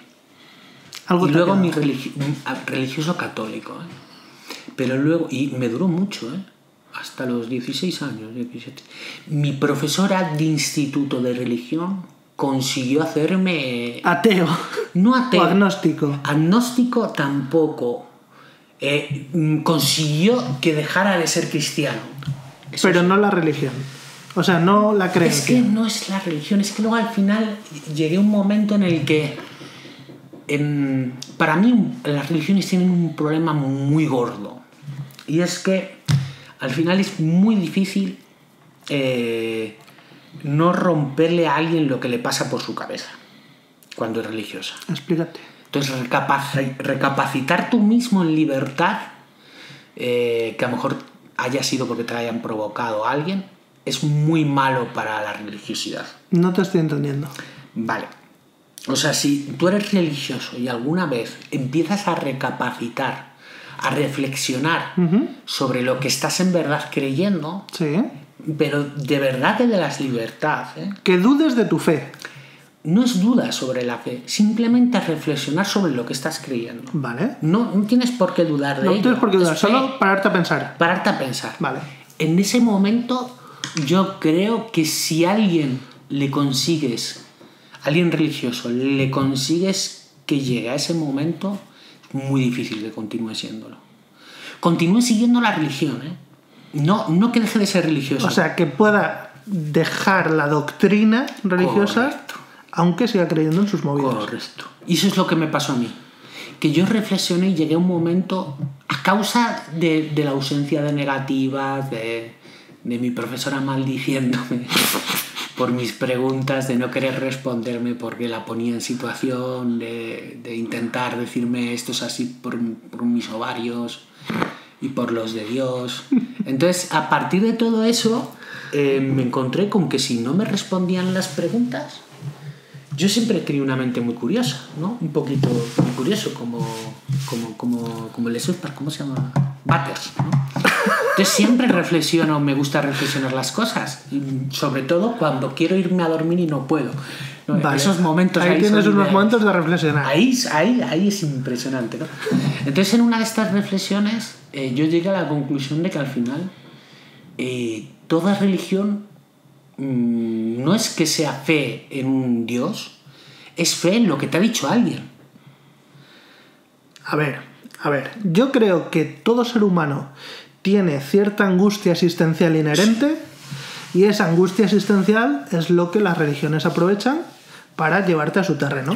No, bueno, correcto, si hay preguntas, si hay filosofía de- detrás de la religión, hay muchas cosas. Pero una de las mayores cosas es que todos los dogmas, todas las religiones, eh, vienen interpuestas por lo que alguien te ha dicho que ha pasado o por lo que alguien te ha dicho que es. Pero esa persona es una persona, ¿sabes? Esa es la cuestión de lo que yo quiero decir. Yo leo la Biblia y dice palabra de Dios y dice, no, no, cabrón, no, la tuya.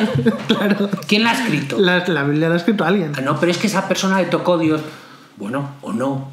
¿Cómo sabes tú que la ¿Dónde te tocó el ángel? Claro. Señalan el muñeco. O sea, eh, es que no, es que es sagrada porque la ha elegido. Oh, tss. ¿Cómo? ¿Cuándo? Porque a mí no me ha dicho nada. Porque a él sí y a mí no me ha dicho nada. O sea, no, claro, llega un momento en el que es que te lo está diciendo, ¿tú le crees? Pues si le crees, le crees a él. Pero no me digas que es que hay que confiar, hay que tener fe en Dios. Bueno, a mí si viene un día me Dios y me dice, "Tss, estoy aquí, y se va. Lo mismo, pues hombre, alguien me dice, me lo ha dicho Dios, y digo, bueno, bueno, el otro día yo le vi, pues bueno. ya de haberle visto tú también. También a lo mejor puede que te lo haya dicho a ti, venga, vamos, vamos a darte el voto de confianza. Pero ¿y si luego contrastáis versiones de Dios y no se parecen mucho? Ah, pues alguien ha engañado. Claro, es que esa es la cosa, es que esa- eh, al final ese es el hit, ¿no? En el que, joder, todo el mundo, todo el mundo te cuenta la palabra de Dios y todo el mundo dice, es que es fe, joder, tío. Es que si no llego a nacer aquí y nazco en otro lado, tendría que tener otra religión. Yo creo... Entonces al final, ¿y, a quién te- y, y esa quién se la contó? El que me la inculcó a mí, ¿quién se la contó? Una persona. Es que fue una persona, no... ¿Sabes? Que A fue ver. una persona. Yo creo que en el fondo la religión es algo inherente al ser humano y que el concepto de Dios es la interpretación que cada uno le quiere dar Correcto. a, eh, a la angustia existencial. O sea, yo creo que hay unas cosas. A, a mucha gente nos pasa que si tú te paras a pensar, eh, por ejemplo, en, en lo infinito del espacio o en, o en qué pasa cuando mueres o todo eso, nuestro cerebro como que no está preparado del todo para entenderlo. No, no eres. No puedes entender 100%, puedes racionalizarlo, pero no entenderlo 100%. Y entonces, cuando te pones a pensarlo en serio, a darle vueltas, se te genera un nudo en el estómago y eso hay gente que necesita darle una explicación. Correcto. Y eso es el concepto de Dios que luego la gente lo interpreta cada uno como le sale los huevos. Claro. Yo estoy hasta el final, pues eso. Yo puedo creer que hay algo que eh, no es necesario que lo haya, pero. O sea, si tuviese una manera, de repente viene alguien, un científico muy inteligente, y viniese con la prueba irrefutable de que no existe un Dios. Le diría bien. Pero no tengo la necesidad. Pero yo sí que creo Pero no hay nada irrefutable en esta vida. que algo buscar, bueno, quién sabe. No hay nada irrefutable. Incluso todo lo que se da por demostrado se da por demostrado a partir de cierta probabilidad estadística. O sea, Bueno, bueno, bueno, bueno. Pero bueno, pero yo qué sé, pues hasta cierto grado me lo puedo creer, que yo no necesito el, el- el- la perfección, ¿no? Del estar al 200% seguro dentro de cabe, ¿no? O sea, pero... Podríamos decir que nada es objetivo desde ese punto de vista. No, yo creo que sí que existe la objetividad. Pero, pero bueno, pero sí, es un ejemplo. Pero lo que te quiero entender, para mí eso era sobre todo el punto de, no es que mi vida requiera de que exista algo, pero yo sí que personalmente pienso que la nada de nuestra existencia, que se acaba convertida en lo que estamos viviendo, por mucho que haya ciencia detrás, que explique y que tampoco pueda explicarlo todo, pero al final, quieras que no, se reduce a, hostia, tú, es impresionante, ¿no? Todo lo que hay y es muy raro para mi mente que no haga falta que exista un sentido, pero sé que puede existir la vida sin sentido.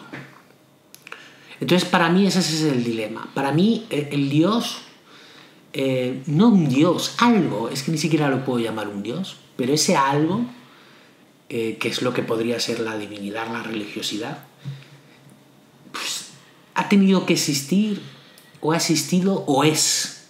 No lo sé. Pero sí que creo que algo hay. Mm, Pero como no puedo definirlo, lo que hago es vivir mi vida como si me diese igual si exista o no. Y ya está. pero ese algo puede ser eh, simplemente las leyes del universo que existen o, o es algo Pero más. qué leyes del universo. Es que es eso. No O sea, sé. las leyes del universo en el fondo es cómo, Es cómo no. interactúan unas partículas con otras, qué tipo de partículas No, existen. A lo mejor eh, eh, la arquitectura de, de esa existencia podría denominarla algo, ¿no? Que fuese para mi religiosidad. Pero no el hecho de la propia ley, porque es absurdo en sí. O sea, tú ves el mundo y, y el mundo está construido en mierdas. ¿sabes? Eh, constantes eh, reglas que son así y que un poquito, poquito, poquito, poquito, poquito, poquito distintas harían que no hubiese nada, que no existiese nada. Claro, somos una, una casualidad. Muy casual. Mucho. Una casual muy casual, una casualidad muy casual. De hecho, tan casual que es, hay una probabilidad altísima de que nos autodestruyamos en los siguientes años. Sí, hay gente que dirá que somos una simulación.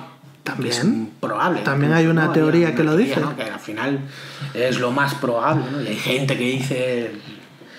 "Eh, Hay una posibilidad entre millones en que no lo seamos. Y luego hay desmontado. O sea, hay mil, de mil maneras de pensar en ello, ¿no? ¿Por qué? Porque Pero nos intriga a todos. Nos intriga, claro. Pero el culmen de todo es, es eso. O sea, si el universo fuese alguna de muchísimas de las cosas que son en el universo, fuese mínimamente diferente, no estaríamos aquí. No, claro, claro. Pero también está la manera de pensar Y si no fuesen diferentes, tampoco yo podría ser consciente de ello. Evidentemente. Porque no estaría aquí. Claro. A lo mejor habría otro ser en otro sitio completamente distinto planteándose esta misma pregunta. Una de las cosas de la ciencia que siempre tiene es como lo de que no puedes hacer planteamientos como dando a entender que eres especial o que algo es especial, ¿no? O sea, como, como diciendo, oye, pues eh, no, es que yo estoy en una posición especial del universo, eh, o mi planeta es especial y diferente. del- Explicar algo por casualidades suele Claro. ser una Entonces, explicación. Siempre como que tienes que decir que está dentro algo de la normalidad. Claro. Entonces, claro, dando a entender eso es como un poco también chocante, ¿no? Es esa. Bueno. o mi existencia o las, las ahí- reglas que rigen la existencia de donde vivo. Claro, de ahí viene la teoría Es un que, poco así. Que yo estoy muy en ese barco de que en realidad vida inteligente existe, ha existido y existirá miles de veces en miles de sitios del universo. Lo que pasa es que eh, la edad del universo es tan grande y el- tiempo que esa vida inteligente existe es tan corta proporcionalmente que eh, esa es la explicación por la que ni hemos recibido ni recibiremos nunca señales de otra vida inteligente. Otra explicación podría ser que les viene mal. O sea, Que nos han escuchado y... están ahí, ¿Por qué no veo signos? Es porque les viene mal. Claro, ¿qué mandaron en la Voyager? En la, en la sonda esa que mandaron Una al placa espacio. de oro con Mandaron música de alguien. músicas. ¿De quién mandaron música? Porque a lo risas mejor o ese es el cosas, problema. Un poco, claro, claro. No, hombre, yo creo que era de lo mejorcito en general que, que podíamos Mandaron ABBA, a lo mejor. sacar. Hubiese estado bien, yo lo hubiese hecho, la verdad. ¿Por qué no? Tú habrías mandado. ¿Cuál es tu canción favorita Eh, puf, no lo sé. Eh, canción favorita de ABBA? de ABBA. No creo que tenga una canción favorita de ABBA. Es más, me costaría seguramente recordar un nombre de una de ellas. Hombre, mamá mía. Sí, bueno, sí, muy mítica, por ejemplo. Yo, pero yo hubiese enviado a Jimi Hendrix. A ejemplo, Jimi. Algo de Jimi Hendrix. Sí. Que a poder fue, fuesen drogas. Eh, Pero a lo mejor esas drogas a los extraterrestres no les hacen nada. no, claro, no, no, no digo Jimi Hendrix tocando mientras estaba bajo los efectos de las drogas. Ah, bueno, claro, ser. como siempre. Ah, Puede ser que a lo mejor no tenga una canción interpretada sin estar bajo el efecto de las drogas. Entonces yo diría muy en las drogas. Bien, vale. Porque esa sí, yo creo que ese era sus mejores momentos. Cuando le ves cara de colgado, colgado, dices, hostia, ahora lo que voy a escuchar va a ser genialidades. Y es verdad, y es así, Sí, sí, es sí. así, no Sí, sí, tiene más. Pero, pero no sé, pero sí, bueno, esa es mi idea, ¿no? De, de la religiosidad. Es como... em, no, no tengo la necesidad de que exista. No creo que el universo tenga que tener una razón para existir, ¿no? Que eso es un poco, a lo mejor, yo creo que siempre ha sido la discusión, ¿no? O sea, mm, si existe una gran razón, al final esa razón puedes acabar escalarla hasta lo que sería la divinidad. Y yo creo que no es necesario que haya un Dios, pero me parece raro que no, lo que no hubiese algo. Pero, mm, sinceramente, creo que ese algo le come los huevos a mi existencia. si, es que, si es que razona. Si es que existe, Y si es que existe, razona y tiene conciencia de mí, le come los huevos. En ese orden, ¿eh? Vale. Sí, sí, sí, sí, hay muchos sí ahí entre medias. Entonces al final lo mejor es intentar vivir tu vida como si, bueno, pues ya, bien, vale, pero ya. O sea que podemos resumir esto como It's fine. It's fine, It's correcto, claro. Pero es sin fuego, en verdad. Esta es la imagen mientras está preparando el café. Bueno, el fuego es, podría ser metafóricamente, eh, todos esos peligros eh, con los que se podría La muerte. acabar la, El la vida sería la humana. muerte, un poco yo creo. Claro, pero todos esos peligros, ya no, ya no la muerte, sino todos esos peligros inminentes que existen y que podrían exterminar la vida humana de golpe. Eh, un, un meteorito, Sí. eh, una guerra nuclear a escala masiva. Pero en el fondo es tu muerte también. O sea, eso es lo que tú estás planteando. Sí, sí, pero para que la imagen sea bonita con el fuego detrás, a mí me gusta plantearla como es- fine del, del mundo. Pues eso es una buena pregunta. O sea, es, es que yo creo que sí que es. O sea, podrías hacer a la gente a partir. No a mí, ¿eh? Ahora no me bien. Pero se lo podrías hacer a la gente a partir de mí, ¿no? ¿Qué pregunta? Eh, eh, ¿A ti te importaría el mundo? Una vez que tú ya te mueras, ¿te importa el mundo o no? Mm, eh, Me la voy a Porque apuntar. es, es, es un. Yo creo que sí que es verdad que hay gente que a lo mejor eh, dice, no, si, una, si yo me muero ya me come las narices, ¿sabes? me come los huevos lo que pasa al mundo. Y yo creo que sí que hay gente que sin embargo tiene esa, esa, esa sensación, ¿no? De, joder, tendré que tener, eh, tendrá que importarme o sí que me importa o soy responsable o no. Me, la- me he apuntado la pregunta porque eh, soy plenamente consciente de que hay gente, o sea, que conozco gente que la respuesta es sí y gente que la respuesta es no. Correcto. Y me parece, y me parece Yo tampoco no creo ni que te haga mejor ni peor, no, no, una cosa a la otra. simplemente es un enfoque. Pero es eso, es como lo de, ¿eres de, de Fanta o Cas? Pues un bueno, poco no, lo mismo. o sea, si es de Fanta eres un hijo de puta. No, hombre, a mí me gusta la Fanta, a mí me gusta la Fanta naranja y la Cas limón. Por joder. Por joder. Vale, eh, lo de la Fanta naranja, te lo voy a pasar porque no tengo ni puta idea de cómo está la Fanta naranja ni el cas naranja. Porque yo solo bebo limón. Pues mira, pues a mí sí que me gusta un poco la Fanta naranja, pero espera que a mí yo soy más de limón. Vale, pues eh, voy a cambiar mi alegato. Si eres de Fanta de limón, eres un hijo de puta. Bueno, yo lo puedo firmar. No, no, lo pienso, pero si me das un papel lo firmo. Vale, eh, siguiente tema y me voy a poner eh, una copa o algo. Uy, me parece bien, ¿eh? Mm, lo he llamado, lo he titulado La inteligencia artificial ens roba. Bueno. ¿Pero por qué lo has dicho con acento? eh, Ah, bueno, ¿es catalán o es un acento valenciano? Eh, es mallorquín. ¿No has, Mallorquín. ¿No has notado la...? No, me cuesta todavía distinguir. Pues era de, era de Ibiza. De Ibiza en concreto. De Ibiza. E Ibiza. Era Ibicenco. O algo así, Ibiza. Ibicenco. A ver, eh, es que este tema me gusta mucho y desde que no está auge, pues no lo traía, así que me apetecía refrescarlo un poco, porque además en muchos de los podcasts que escucho tratan el tema y, y lo tratan con un misticismo que a mí me da la sensación de que la gente no tiene ni puta idea de lo que es la inteligencia artificial. Eh, Yo creo que nadie, ni siquiera los expertos, tienen en verdad la idea. No digo más. Mm, Cuando digo no tiene ni puta idea, me refiero... ¡Puta idea! Me refiero a que mm, no entienden que es una herramienta. Con más, menos poder, con lo que sea. Pero la gente eh, lo interpreta como, como cosas loquísimas. Como poco es una herramienta. Claro. Entonces, mm, por introducir el tema en lo que me sirvo algo, ¿cómo ves las consecuencias de la inteligencia artificial en nuestra vida actualmente y a corto medio plazo? Muy duro. Eh, Ponme a mí unos hielos y una, una limón, por favor. ¿Un lemon? Eh, otra, ¿no? Sí, otra. Esta es. está Vale. Pues a ver, actualmente es que eh, una de las cosas que yo creo que hay que tener en cuenta es que ¿Así o más? Ah, sí, así está bien. Muchas gracias. Es que literalmente eh, el- la evolución o la velocidad con la que se mueve la inteligencia artificial yo creo que es tremenda. Muchas veces ni la propia gente que lo diseña o que trabaja en ella, yo creo que es consciente ellos mismos de...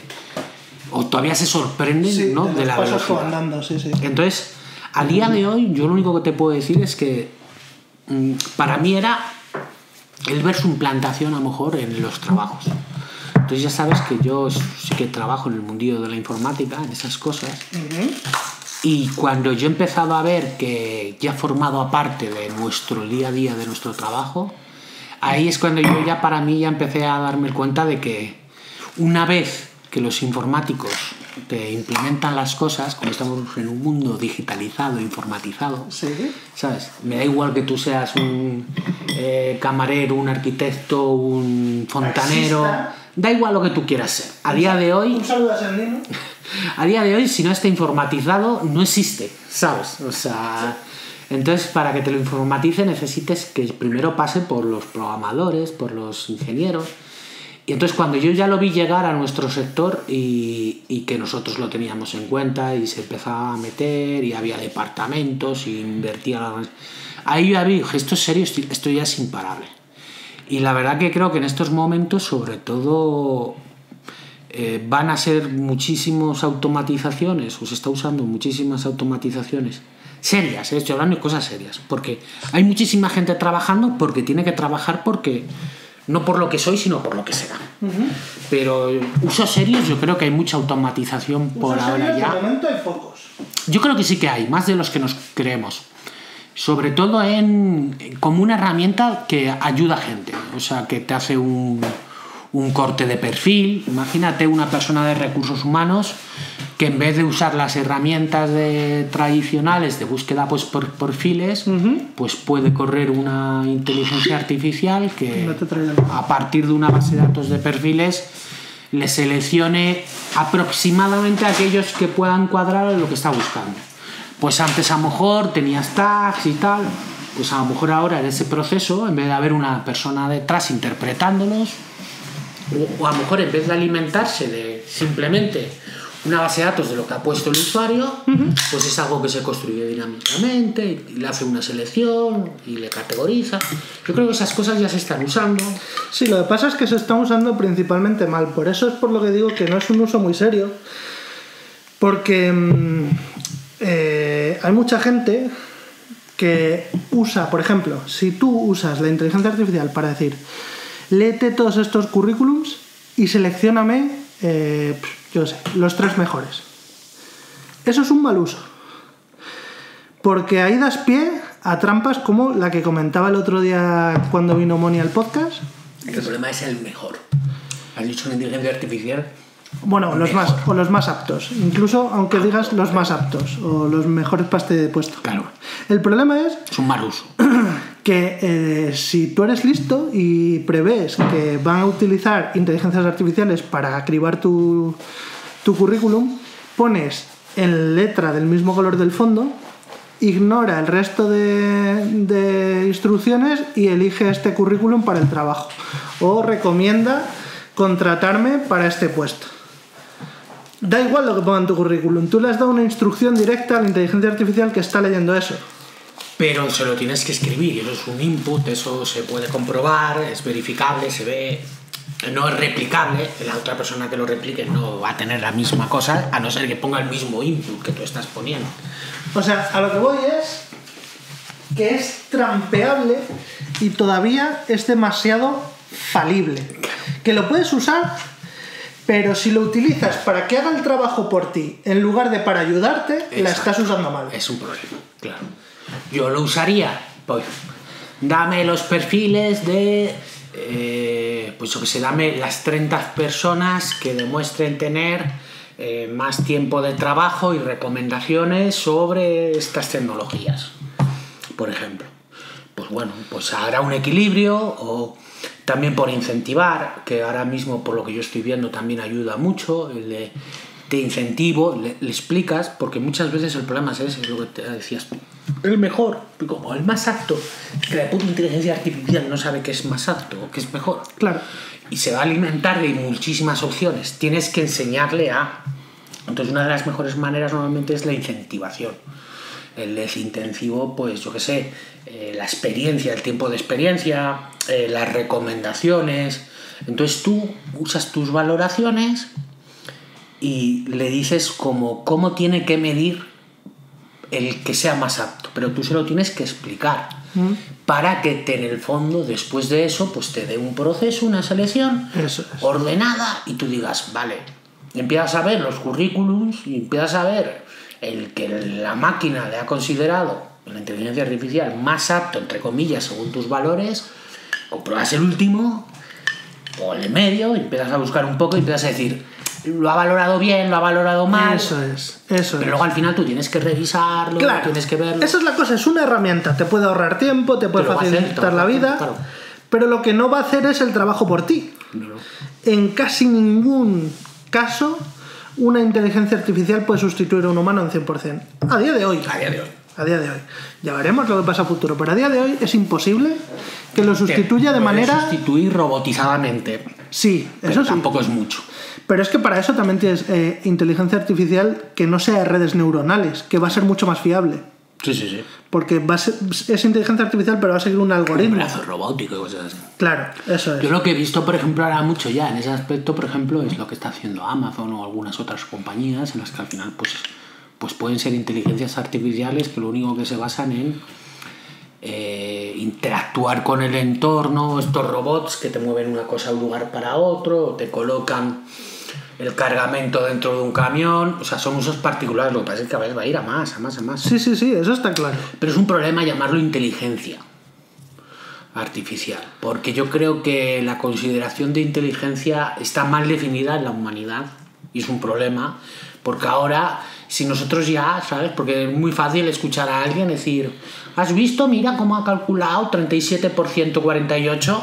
Eso es muy inteligente. Eh, claro, pero me refiero a eso, ¿no? Como que alguien puede pensar eso. Eh, Ha tardado dos segundos y el otro tardó 10. Es más inteligente.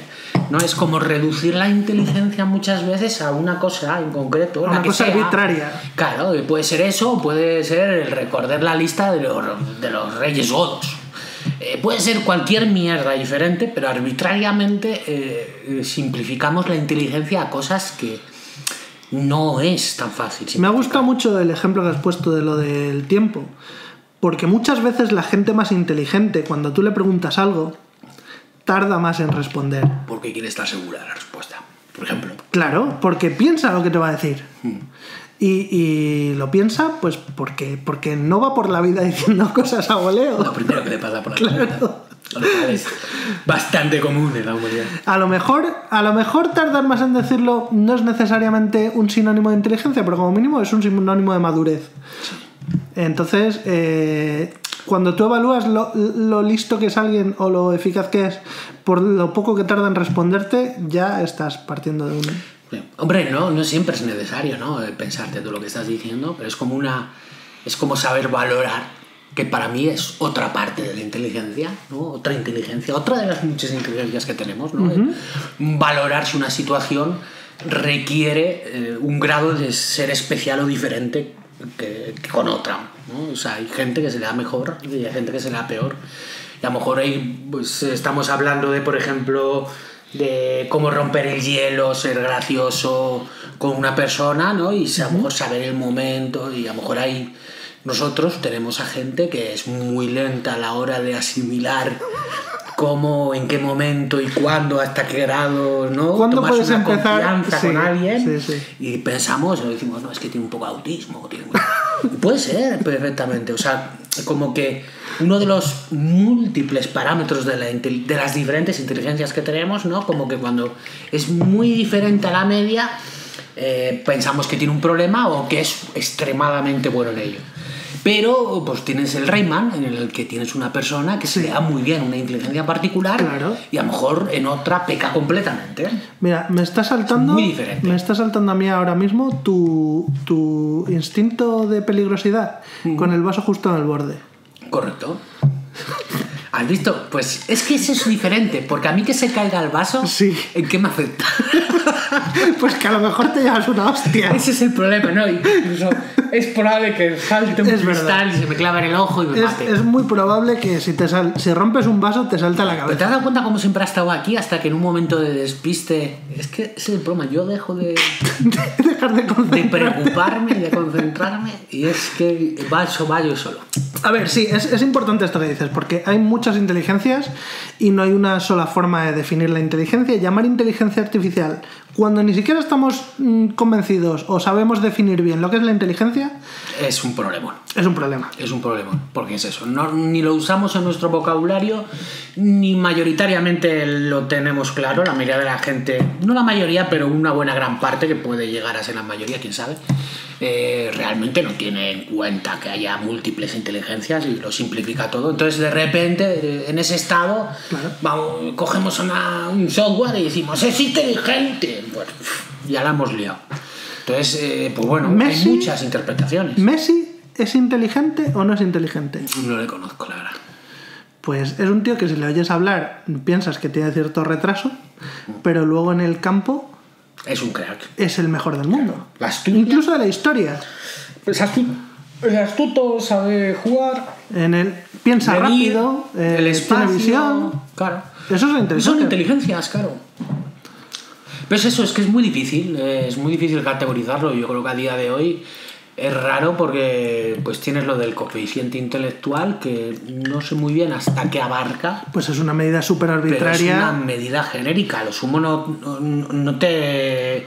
O sea, tiene en cuenta coeficientes, pero no le he visto yo, o yo recuerdo cuando era pequeño y nos hacían esos test, yo no recuerdo en mi vida que ninguna de las preguntas fuesen empáticas o Claro.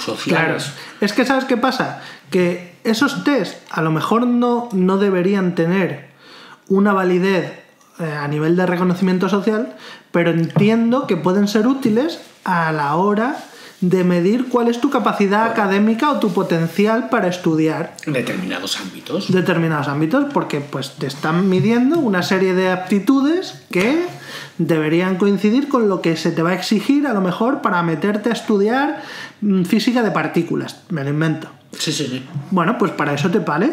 Y sacar una puntuación alta te puede medir lo bien o, o lo que te va a costar o lo bien que te vas a integrar en esta carrera. Vale.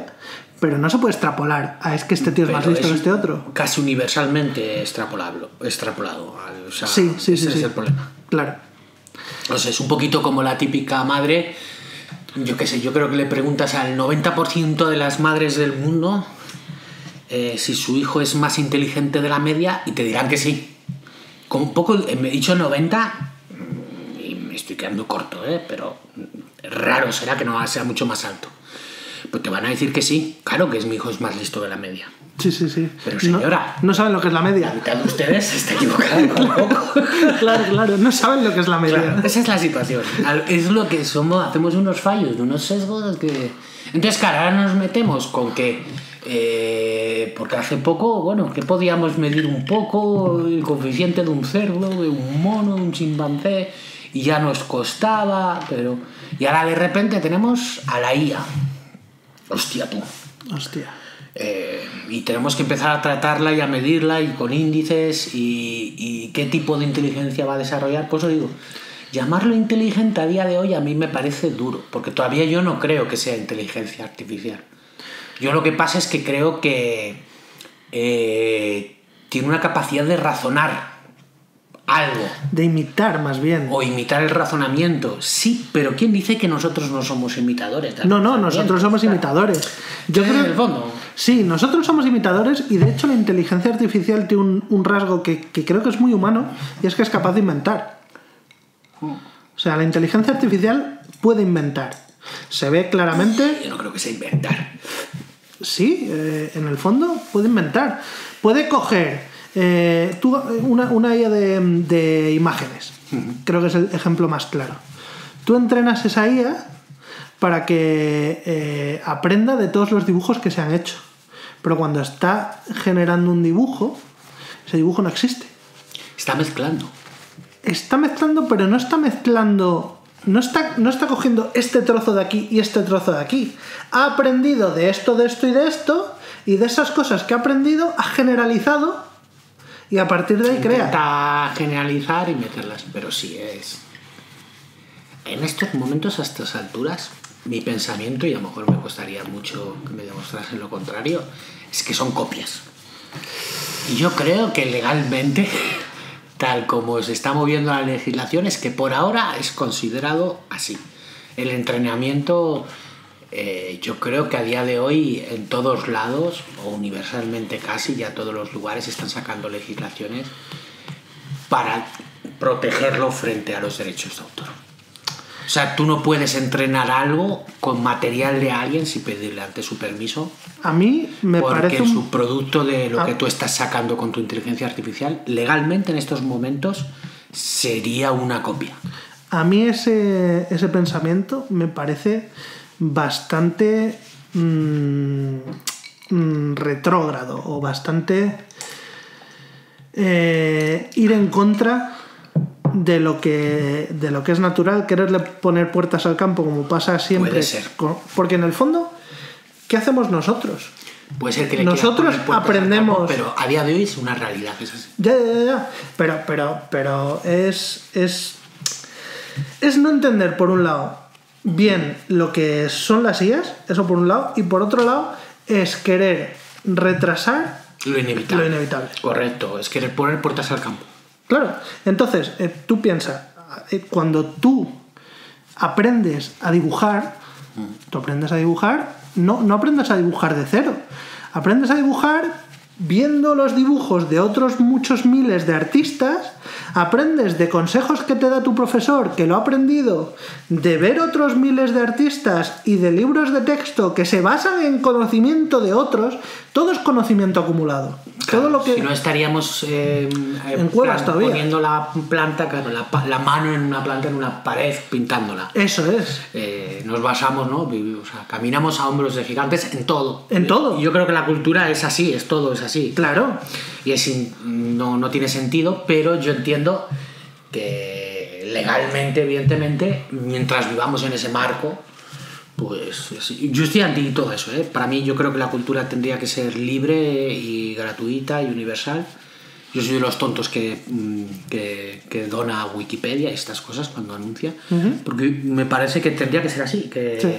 que incluso videojuegos, claro, es difícil, ¿no? Todas estas cosas, pero yo creo que juegos y todas estas cosas, todo producto, artistas, al final tendría que haber un movimiento desde los propios estados para intentar de alguna manera financiarlo.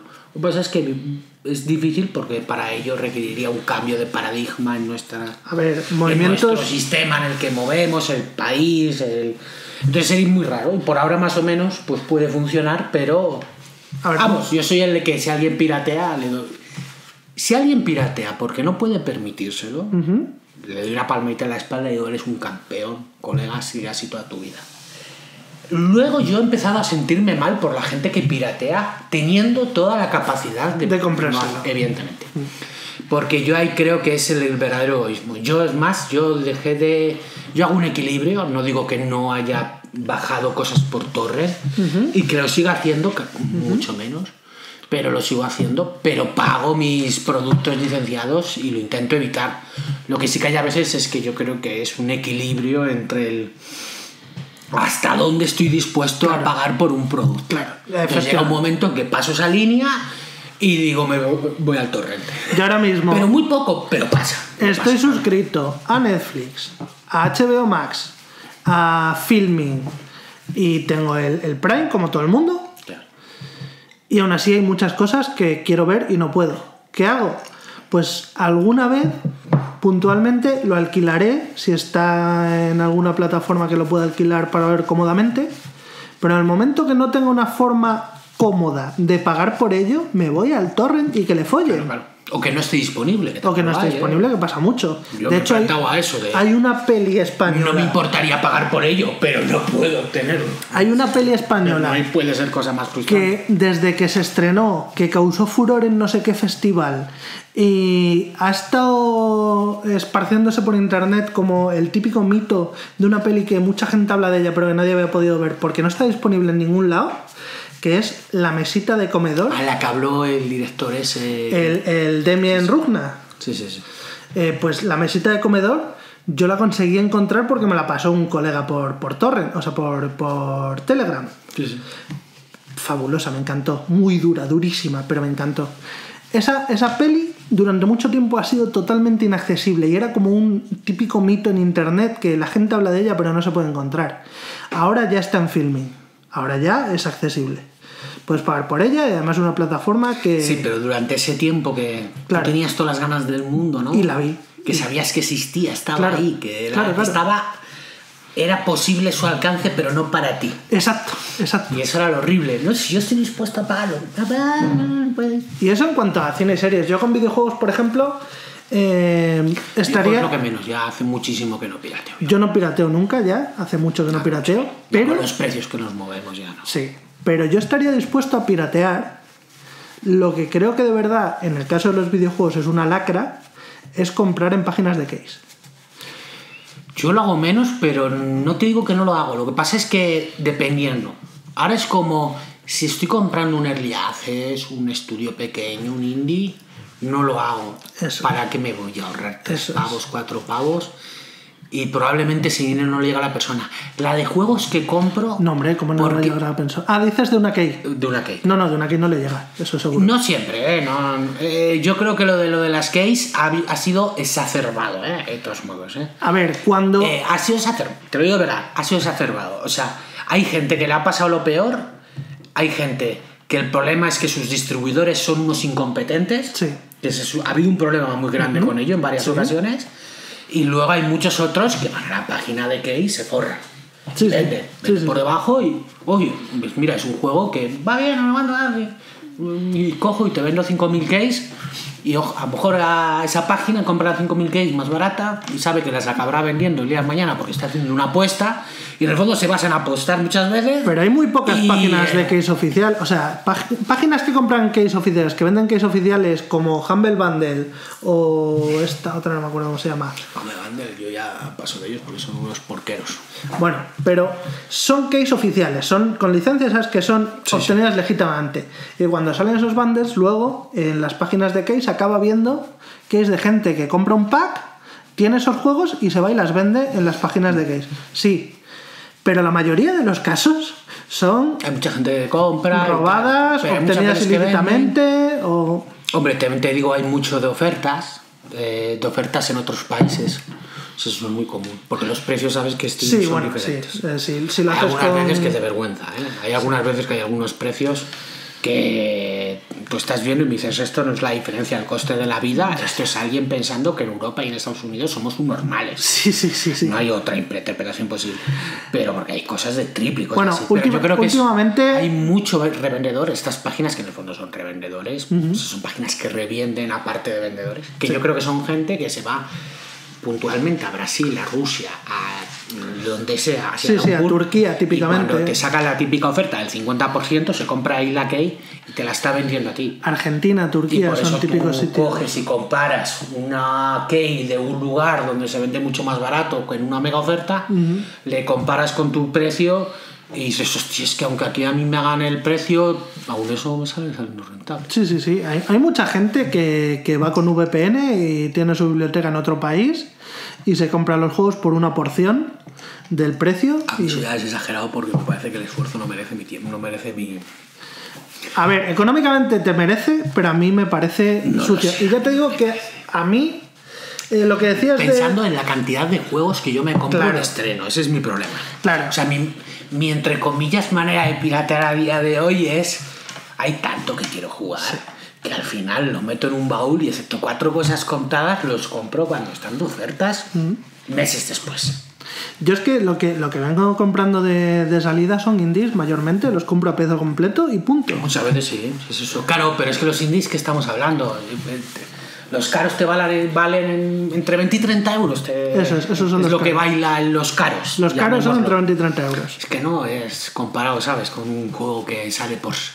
Que salen ahora 70 y 80 pavos algunos. 80 euros es el precio oficial de los AAA en consola. Vi el Wukong el otro día, 60 pavos en Steam día 1. Bueno, Sí. todavía en Steam al menos se siguen respetando el límite este moral de, 60. los 60 pavos. Bueno, algunos. algunos. De hecho, los de Sony creo que salen a 70 ya. Ya, pero es que Sony a mí, bueno. Tú ves esto lo típico, dices que en el calor del momento es Sí, ya lo sí, peor. Y- y si les pasa algo malo, me alegro por él. pero en el momento ahora porque sale Sony. ¿A Sony sí que les mandas al infierno eterno? No, no. Pero si acaban allí, no me va a parecer mal. ¿Sabes? Si un día me llega la noticia, no, no, el de Sony está en el infierno. Ah, bueno, algo habrá hecho. Él verá. Sakaguchi al infierno. Vale. Eh, vale, siguiente pregunta sobre lo de las IAS es: ¿Qué trabajos crees que serán los primeros en desaparecer por ser reemplazados por IAS? Esto es Por opinión. ellas. Claro, es- estamos hablando de reemplazados 100%. Sí, reemplazados 100%. Que desaparezca el trabajo. El oficio en sí. Es que un oficio yo creo que van a tardar muchos. Sí, sí, claro, yo no te estoy diciendo ni cuánto. tiempo. El primero, Sí, te estoy diciendo los primeros que tú ves así, que pueden, que son los más... teleoperador. Teleoperador, si me dijeras el que menos crees que va a tardar, y no quiero decir que vaya a ser el próximo año, todo va a ser progresivo, ¿eh? Sí. pero si tuviera que responderte, teleoperador, sin duda. Sin duda. Yo, yo estoy deseando que cambien las putas máquinas que hay ahora mismo. O sea, no los teleoperadores, sino las máquinas que hay ahora mismo eh, que te responden al teléfono, que las quiten, las quemen todas de una puta vez y pongan una IA a la que puedas hablar a velocidad normal. Claro, yo he dicho teleoperador, pero me refiero a todo ese tipo de cosas que en el fondo, bueno, es que opera por teléfono funciones, llamémoslo. Ya que te llame para venderte lo que sea, ya que te atiende el teléfono por una incidencia y Sí, te sí. quiera remover o enviar a, o darte soporte o responderte. Yo creo que todas esas cosas, y incluso te diría que me metería también en el primer rango de teleoperador, entre comillas, incluido De soporte. Sí, porque es teleoperador, fíjate tú, que es como, ¿no? Operador A distancia. a distancia, Sí. pero lo encajamos en el teléfono, ¿no? O sea, yo creo que lo tenemos incrustado en el teléfono, pero yo me refiero a todo. A todo, claro, el chat, el chat de la típica web. El chat, el que te responda el email. Sí. Claro, yo estoy hablando de teleoperador en el, en el sentido sentido latín de la palabra. Vale, vale, vale. Y, y yo creo que eso va a ser lo primero, sin duda. Yo creo que eso acabará siendo algo completamente automatizado y luego lo que pasará será niveles de soporte. O sea, tendrás detrás, como hay a día Sí, de hoy, al final, como hay a humanos. día de hoy, humanos, pero niveles de soporte, lo que pasa es que, claro, su número de solicitudes serán completamente muy pequeña, Claro. vendrán ya muy digeridos por la IA, Claro. que habrá escuchado tu problema, habrá analizado, te dará un reporte o lo Y que cuando sea. ya no sea la IA capaz de, de ayudarte, pues ya te pasará con el operador. Claro, y ese operador vendrá toda la película, lo analizará y te, y te responderá. Pero yo creo que toda esa parte, que seamos realistas, es muy automatizable. O sea, y, y digo con eso, en verdad digo operador, pero ser una persona detrás de una ventanilla al que le vienes a preguntar qué documento tienes que rellenar y que si te lo da. Ahí también está incluido. Esos tipos de trabajo, todos esos van a ser los primeros. Y seguramente después es que, claro, porque me estás diciendo oficio, y entonces yo creo que Oficio. oficio es eso. Otra cosa es que luego haya muchos otros trabajos que parcialmente... Eso era lo siguiente que te iba a preguntar. Claro, ah, bueno. Lo siguiente que te iba a preguntar es, ¿qué otros trabajos crees que durante un periodo bastante largo va a haber IAS ejerciendo ese trabajo y también humanos? Que no va a desaparecer para los humanos, pero va a convivir con algunos los hacen las IAS y otros los hacen los humanos. Yo ahí creo que van a ser almacenes, logística y transporte, o algunos periodos de transporte sobre todo, y limpieza. Se está metiendo mucha pasta en la, en la conducción autónoma. Conducción autónoma y logística, me refiero a bajar, descargar, cargar, Sí, mover, preparar paquetes pedidos. mover algo de una cosa a otra, hacer todo. Yo creo que ahí donde estás invirtiendo más peso y, y porque creo que y logística incluso dentro de un, yo qué sé, una fábrica, imagínate de alimentos, ¿no? Y que hay que cargar o hay que llevar algo, una comida a un lado o lo que sea. Todas esas cosas, todo eso. Lo primero, y limpieza. Limpieza también creo que va a haber un boom seguramente, eh, no mucho. Es cuestión de precio. La limpieza yo creo que va a ser algo que explotará y no, no, vamos, no lo vamos a ver venir, como lo de la rumba, Ajá. que ahora ya ha bajado, ¿no? Sí. Porque ha bajado, pero tuvo un momento... Hombre, ha bajado en cuanto a estar en la conversación, pero ha Exacto. subido en cuanto a que están todas las casas. Está muchísimo, se vende caro. Claro. Pero, pero ese momento, ¿sabes? En el que la rumba fue. sonó el rumorcillo y de 0 a 100 todo el mundo quería tener una rumba en casa. Sí, sí, sí. Eso va a pasar con la inteligencia artificial. Va a llegar un momento en que llegará a ámbitos de la limpieza y empezarán a. Ya no te digo si en tu casa, si profesionalmente, evidentemente irá evolucionando. ¿no? Ujú, sí, sí, Pero, claro, claro. Evidentemente, como siempre, estas cosas primero llegarán al ámbito labor empresarial, vamos, empresas, fábricas, pero será como un boom. Llegará un momento en el que de la noche a la mañana todo el mundo se diseñarán productos y todo el mundo va a cogerlo, pero será un tema de, de escalabilidad de precios. Cuando tristemente cuando sea menos o sea, sea más rentable comprarlo que pagar a una persona para que lo haga. Como Claro, todo. claro, claro, nada, como ¿Vale? todo. Ese es el baremo. Te voy a decir yo uno que es de los menos evidentes, pero a pesar de ser de los menos evidentes, está pasando ya a día de hoy. Eh, influencers o eh, artistas. Ya está pasando, verdad. Hatsune Miku.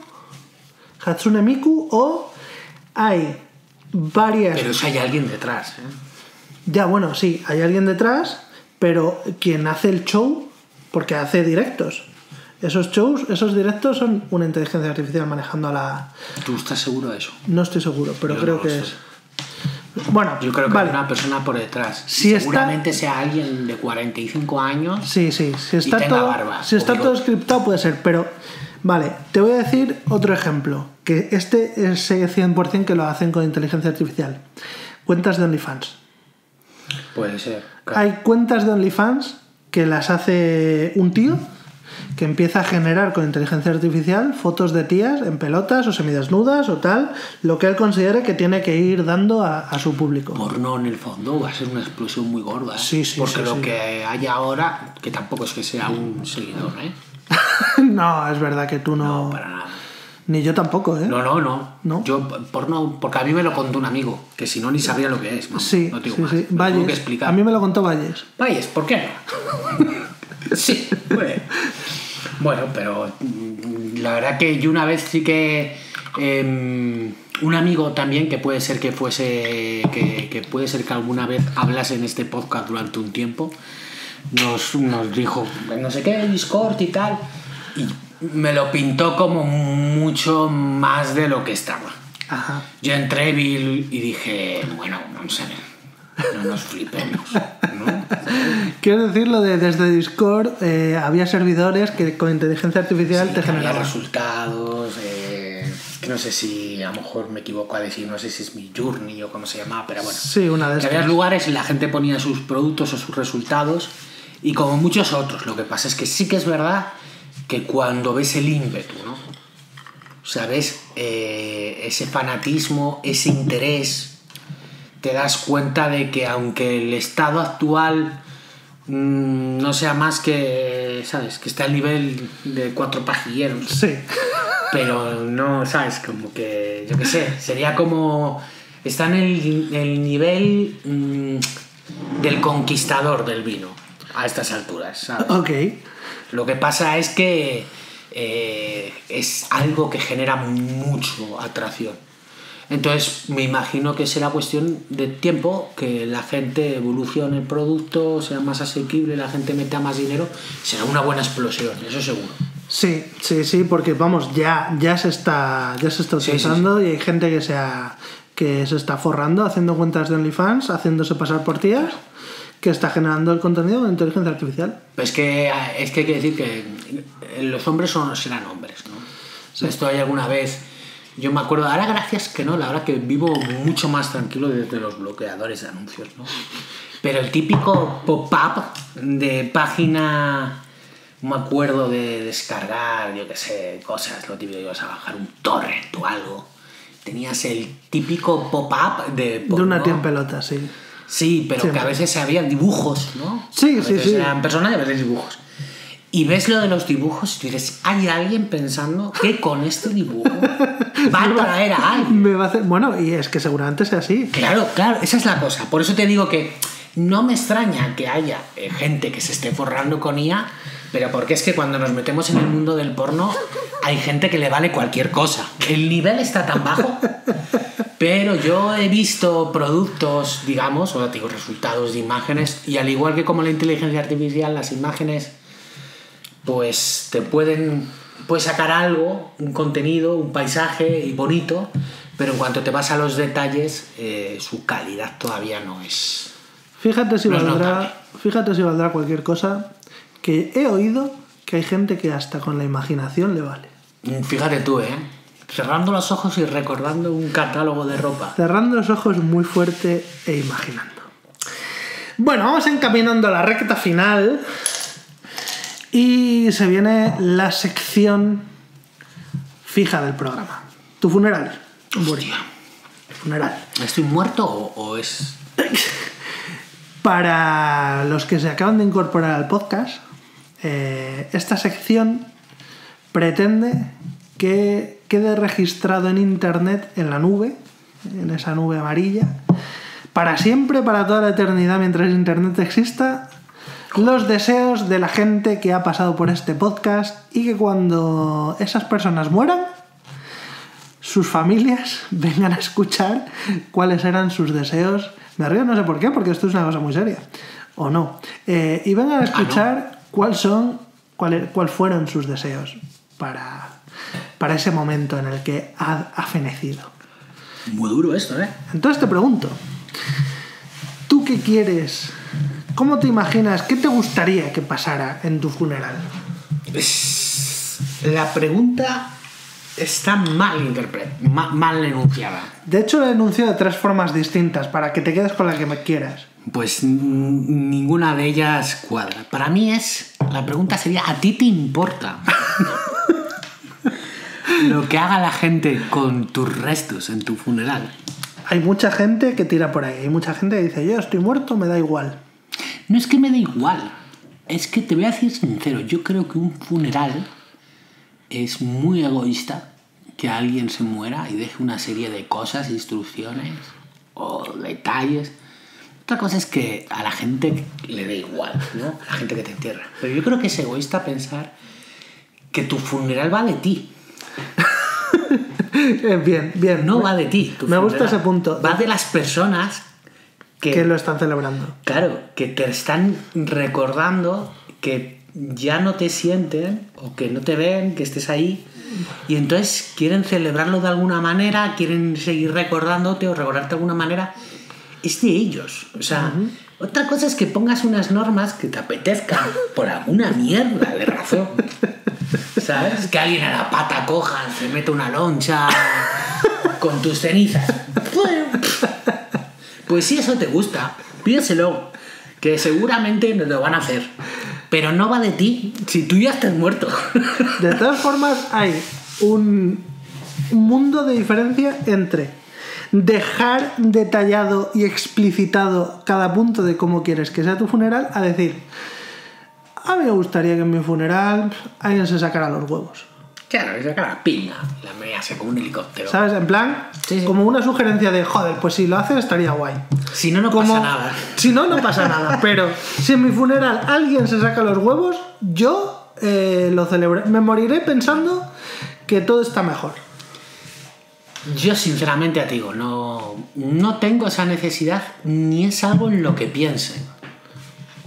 ¿Sabes? O sea, un epíteto a lo mejor que pongan en mi lápida, si es que alguien quiere poner una lápida, Un a, e- los- lo- a lo mejor... Un así- epíteto es un adjetivo innecesario. Eh, Sí, sí, sí. Eh, literalmente. Claro, o sea, el que me dejen poner algo, lo típico que... eh, bueno, un adjetivo. A lo mejor una frase estaría mejor, ¿no? Vale, una frase como o sea, porque hoy quería poner, pues yo qué sé, alguna cosa divertida mm, sobre mí, algún... Pero si me dejan poner una frase o alguien se animase, pues a lo mejor, yo qué sé, algo gracioso se me podría ocurrir. Pero es que no he pensado en ello. Ni me llama el pensar en ello, ¿sabes? Imagínate en tu, en tu lápida poniendo It's fine. It's fine, sí. O. No sé, no sé. Aquí yace o algo así. Eh... Nah, no, es que no, sería muy cursi. Es que luego pienso y la gente va a leer esto y va a decir, qué ¿Qué gilipollas. gilipollas? ¿No te parece Claro. fabuloso? Es que lo estoy pensando ahora. ¿No te y- parece fabuloso que alguien lea esa tumba y diga, Claro. menudo es un normal? Claro, claro. Pero para eso pongo una frase. O sea, estilo, tu madre. Tonto el que lo lea. Sí, algo así. Pero no intento esforzarme. Porque si lo que quiero transmitir es que gilipollas. Sí. Claro, Me pongo una foto mirándole raro o algo así. Es lo que te quiero decir, no es algo que me provoque. Yo realmente no es algo en lo que piense y seguramente, yo qué sé, si algún día alcanza mi vida esas edades en las que eh, llego a planificar, ¿no? en la que yo Sí. voy viendo mi final Sí. y digo, uy, va, te faltan dos telediarios. Y a lo mejor me da por pensar, pues seguramente, a lo mejor Bueno, pues yo sí que me considero una persona que a lo mejor eh, en esos momentos, si me aburro, eh, pensaría algo. algo, algo ingenioso. Algo ingenioso, sí, algún chiste, seguramente sería algo gracioso, para sacar una sonrisa. Pero no es algo en lo que pensase ahora. Y vamos, si me da un trancazo, viene un coche y me atropella, unas posibilidades abrumadoras. Que me muera yo, no, porque un atropello es demasiado normal. Yo creo que mi muerte va a ser Tú una eh, atropella sobrevivir. algo muy ridículo. Sí, Entonces un atropello es muy normal, muy cotidiano. mm, sí, Sería como... Uf, habría gente defraudada. sí. ¿Sabes? Como diciendo, se ha muerto, sí, pero has visto. Lo tuyo tiene Pero- que ser... Que si le han atropellado. Lo tuyo tiene que ser algo en plan... ¿Sabes los... O ridículo, o épico, no sé. sa- ¿Sabes estos bulos que se extienden que la gente se cree que es verdad, pero que en verdad es mentira. Sí. Como lo de que en el tren, en, en la taza del váter, se genera un vacío, entonces si tiras de la cadena estando sentado te saca las tripas. ¿De verdad? Hay gente que se cree eso. Bueno, pues imagínate que te pasa a ti. Claro, algo así. Sí, sí, sí, para mí tiene que ser así. Yo creo que eh, mi Algo. muerte seguramente acabe siendo algo muy ridículo. Algo que esté desmentido, que haya sido un bulo, que se lo haya creído la gente, pero que fuera mentira, que no haya pasado nunca, pero la gente se lo cree. Y de repente te pasa a ti. Algo así. O es eso, o muy espectacular, ¿sabes? O, o divertido, o raro. Pero yo creo que una muerte natural no. Que es más. Yo creo que no será y que yo pongo por mi parte. ¿eh? También en parte yo me voy esforzando, no vaya a ser que me pase algo y defraude. Porque yo creo que hay público. Ya, hay público, sí, sí. Entonces. Mm, imagínate, otra que se me ocurre es que salga Ricky Martin de tu armario y te dé un, un síncope Y me supe los huevos. y te mueras Ay, me deshidratado. muero yo de la- de la de la- del impacto. Claro, porque tendrías los huevos cubiertos de mermelada. Eh, eso es un. Eso sí que es. Eso sí que pasó. Conozco a Pasó. alguien que lo vio. Claro, es que. ¿Cuántas veces escuchamos eso? ¿Y por qué mermelada? es que. Es eso, el que, el que pensó lo de la mermelada fue un genio. Sí, porque además Porque le dio lo- un realismo. los, los perros se quedan ciegos si comen mucho azúcar. Comer mucho dulce. Mucho comer, coño. Tú imagínate, que, a ver, para tú imagínate ese perro lo acostumbrado que tenía que estar a- de comer mermelada del coño. Sí, sí. Ese perro estaba ciego ya, Tenía seguro. que estar ciego ya no, no veía, no distinguía entre huevo, coño. Vete tú a saber. Iba por la calle comiendo cosas, simplemente la gente. No, de verdad, eh, la gente, el, el que se lo. Porque tuvo que ser un genio. Un claro. genio, un genio. Un genio. No un genio, un genio. Bueno, a lo El mejor fue un genio. ¿Quién sabe? Puede ser, de verdad. de verdad. Incluso, Pero un genio el que se que inventó eso, sin duda. incluso podría haber sido nuestro Eugenio, Sí, sí. que se lo hubiera inventado, que lo hubiera extendido por todo el país y luego lo hubiera olvidado. Claro. Que se lo inventó él. y ya no podamos corroborarlo. Entonces no haya nadie.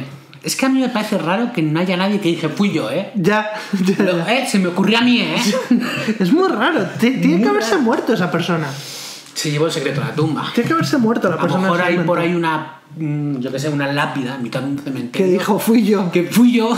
Pero nadie sabe que se es muy buena, refiere. esa es muy buena. A, ver, a lo mejor digo que pongan eso, fui yo. ¿El qué, cabrón? Dínoslo. Ah, fui yo. Vale. Pues cerramos la sección del funeral con un bonito fui yo. Vamos con preguntas del público. Hostia, hay público. Sí. Me quiere preguntar, me refiero. O sea, Le he preguntado a dos personas, no me he querido calentar porque ya tenía el programa hecho. Y de las dos personas, una ha tenido pánico escénico y no ha, sido, no ha sido capaz de preguntar. Y la otra me ha dejado una pregunta para ti. tienes una, hay una pregunta para ti. Hay una pregunta para ti. Y además la vas a escuchar a la vez que nuestros oyentes. Ojo.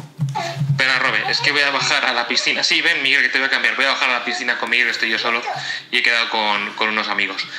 Eh, vida de padre. Tío, pregúntale qué canales de YouTube ve o qué youtuber recomendaría y cuál tiene especial manía. ¿Sabes? En plan, ¿qué canal nos recomendarías uno o cuál has cogido canal especial manía? ¿Vas a hacer pis? Venga, una ¿Me vez. Lo, eh, ¿lo del pis es para mí o...? Sí, es para ti, es para Ah. ti. No tengo ganas especialmente ahora. Vale, ya has respondido una pregunta, ahora la otra. Ahora la otra.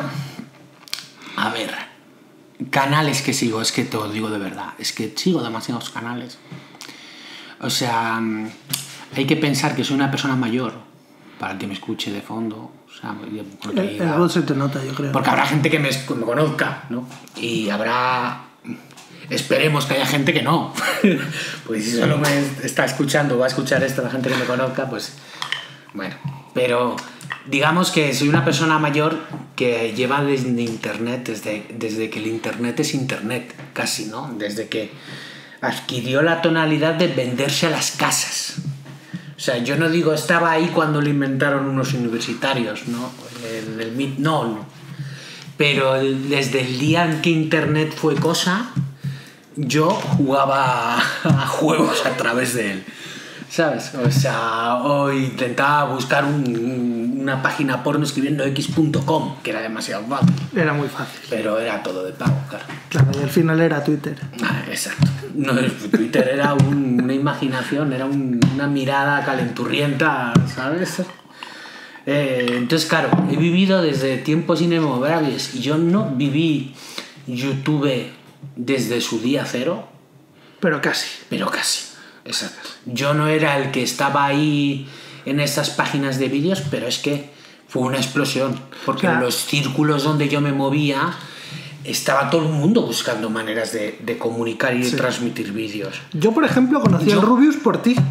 Normal, yo me suscribí. Es que no sé si existe una lista de suscriptores, pero a lo mejor yo soy el suscriptor 1100 del Rubius. Claro, claro. Que yo le descubrí con sus vídeos de Skyrim, de los Skyrim, bugs, de y las flechipollas. flechipollas, partiéndome el culo. Y qué grande es este tío. Hoy no le veo a día de hoy. No consumo su contenido porque no está enfocado para mí. Claro. Pero para mí yo viví en su momento y alguna vez a lo mejor por nostalgia incluso veo algo suyo y joder. O me trae recuerdos o una alegría, pero no, pues no tengo tiempo para ver y ya su contenido no está en mi top, ¿no? Pero es eso, yo llevo desde los nichos, entonces ver mi lista de, sus, de, canales suscritos que he ido quitando a lo largo del tiempo, canales simplemente porque no tenía tiempo para verles. Y al final ya la lista que tengo es tan grande que hay canales que seguramente lleven sin sacar contenido 5 o 6 años. O más. O vete a saber, o 10 o ya no saquen. Yo creo que a lo mejor todavía sigo suscrito al canal de Touskar Apoyen, que cuántos años puede hacer que no... Estoy suscrito a un canal tuyo de YouTube, no te digo más. y al de UG. Y el de Euge, hombre, es que el de Euge todavía sigue sacando de contenido, ¿eh? Muy de vez en cuando, pero sigue De vez en sacando. cuando, ¿eh? Pero sí, sí, sí. Entonces, claro, al final está suscrito, pues no sé. Es que es mucho. Estoy suscrito a canales de historias, de ciencia, en español. Dime los más populares. tres, dime tres. Tres. Tres canales. Mira, vamos a hablar de importante, porque para mí es muy importante el momento YouTube. El momento YouTube con juegos online, eh, con el LOL, que yo fui un fanático del LOL, y ahora lo perduro mm, de vista ocasional. Entonces, una de las personas que sigue viva en el mundo ¿no? del, del ¿Del LOL? entretenimiento es Trick 2G. Hostia. Es el típico boomer completamente, ¿sabes? Que sigue en el LOL y desde los tiempos originales, desde que yo jugaba, Sí, pues sí, sí.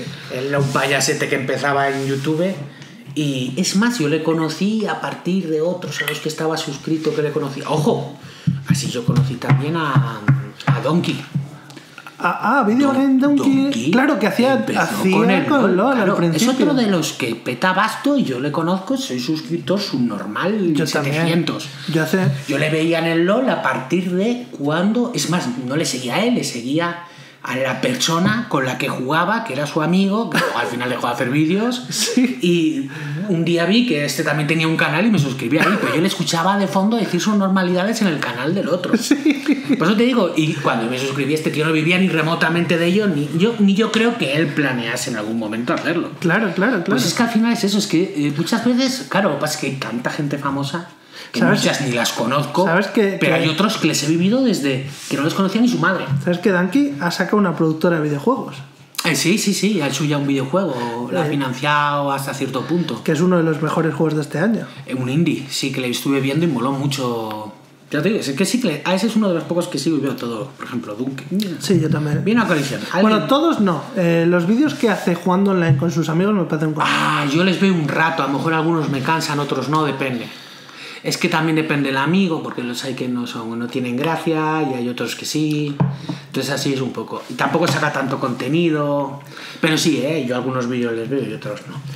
Pero sí, Don- Donkey es demasiado Buenísimo. importante para mí en mi definición. Yo creo que actúa a día de hoy. Buenísimo. Eh, es más, eh, cuesta mucho y yo he tenido discusiones de verdad con gente que le ha pillado cuando era súper famoso y se flipa porque no entiende sus vídeos, no entiende. Porque Es un humor muy persona que particular. nunca se ha esforzado en que la gente le entienda. No, no, no, no. Nunca se ha esforzado ni lo De hecho, a, a mí me le recomendaste y yo en su momento lo vi y dije, esta Este gilipollez... gilipollas, es que es difícil ¿eh? comprenderla, gilipollez, porque muchas veces él mismo explica sus propios vídeos de manera graciosa ¿Sabes? Cómo, cómo él opina verdaderamente de algo. Entonces tienes sí, que leer sí, entre sí, líneas sí, de las líneas. Tienes que, o sea, efectivamente. De hecho, creo que ha sido. O sea, me he enganchado a sus vídeos en el momento que vi algún vídeo, no recuerdo cuál sería, pero que entendí la ironía de lo que estaba diciendo. Entendí que estaba hablando de algo que parecía que estaba hablando en serio, y estaba hablando completamente irónico e intentando decir justo lo contrario de lo que decía. Y ese vídeo le pillé y a partir de ahí empecé a verle Como que te llama. y me enganché. A mí es que esas cosas en el cerebro me hacen un tilín. Sí, ¿no? sí, Como sí. que me liberan alguna hormona que me gusta y entonces ese tipo de personas que hace ese sarcasmo metido, retorcido, que le tienes que ver, me encanta, porque encima son gente que yo creo que hacen sus vídeos disfrutando Sí. con la esperanza de que haya gente que se confunda al interpretarlos. Entonces, Totalmente. intencionadamente. está Totalmente. así. No está buscando sarcasmo, está intencionadamente buscando que haya gente que le malinterprete. Entonces yo he tenido discusiones con esas personas que la han malinterpretado. Entonces, eh, porque encima es que, claro, es como le viene el de mentalidad cerrada, el Claro, de y dices, A es pero A, si te está diciendo, B". si te lo está diciendo Te lo está claramente, diciendo, te lo está diciendo. claro. Y tú, pero a ver, es que ni siquiera yo me atrevo a decir que piensa de verdad. Ya. Lo único que puede decirte es que no es eso. pero bueno. Entonces, eh, yo creo que ese seguro Tuyi también le tendría que meter porque es una de las. Pues de los tíos que sigo viendo su contenido casi a diario. eh, son 10 minutos a lo mejor de vídeo y a lo mejor no quiere decir que lo tenga que ver si no me muero, pero si me sale, que me sale siempre, pues me sale ahí el vídeo, me trago los 10 minutos, ya sea viendo algo, fumando un cigarro, lo que sea. A mí me ha venido el flashback del, del logo del canal a la cabeza, que a lo mejor ya lo ha cambiado y todo, pero porque no lo he vuelto a ver desde los tiempos en los que jugaba al LOL contigo. No ha cambiado nada. Los tiempos, eh, era una G grande. Y si una T y tal, eso Sí. siendo idéntico. La misma música, yo creo, casi de, que de tiempos innombrables. Pues- Desde que tiene un editor y todo eso, que encima es una de las mejores. Yo creo que ha abandonado a muchos. y Una de las razones por la que no abandoné ese youtuber no es tanto por él, que sí que me parece muy grande, es un gilipollas que le quieres. o sea, el típico gilipollas. Gilipollas eres. Como te quiero y me das un beso en la frente, ¿no? Sí. Y yo creo que en parte es por sus editores y por su complicidad la que tiene él con sus editores, porque evidentemente los editores le tratan horriblemente mal, se ríen de él, incluso le piden que colaboren para que se rían de él y él voluntariamente lo hace. Y tiene sus inseguridades, el que empieza a perder el pelo y tal, y aún eso entra, pero le notas que le jode y que rehuye, que- pero aún eso es capaz de hacer el tonto solo Sí, sí, para generar ese engagement o, La gente esa broma. que sabe reírse de sí mismo honestamente, la verdad. Aunque le duela, Sí, es sí, eso, sí. es que te duele, pero dices, bueno, pero tengo que entrar en ello. Entonces yo a ese también le diría... Y te falta segundo, uno, venga. Y me falta uno. Eh, pues yo no sé si dar algún tipo de honores causa para alguien que vea mucho, que vea esperado. No lo sé, es que hay mucha gente que, que ha abandonado ya. a lo mejor que no sea de videojuegos, a lo mejor de otra No, temática. Sí, sí, estoy intentando ver otra temática, pero que alguien que conozca. El problema es que la gente pueda conocer de alguna manera. No, precisamente si te ha preguntado ayer, probablemente sea para que le descubras a alguien que no conoce. Claro, pero aquí le voy a descubrir. yo. También te digo que probablemente si dices alguno que sea español, mejor. Claro, claro. O Por que hable en por es- español, por quiero decir. Pero es que en español seguramente mucho de mi contenido es piensa y tal. Vamos a, vamos a cambiar un momento, adelantándonos en el Ah, tiempo. al, al que desrecomiendas. Sí, para así Vale. pensar, ¿sabes? A ver si me sale. Al que le recomiendo, Sasel. Sabía que ibas a decir a Sasel. Sasel. Sabía Si que hay una persona que me da asco y el contenido que hace es Sasel. De verdad.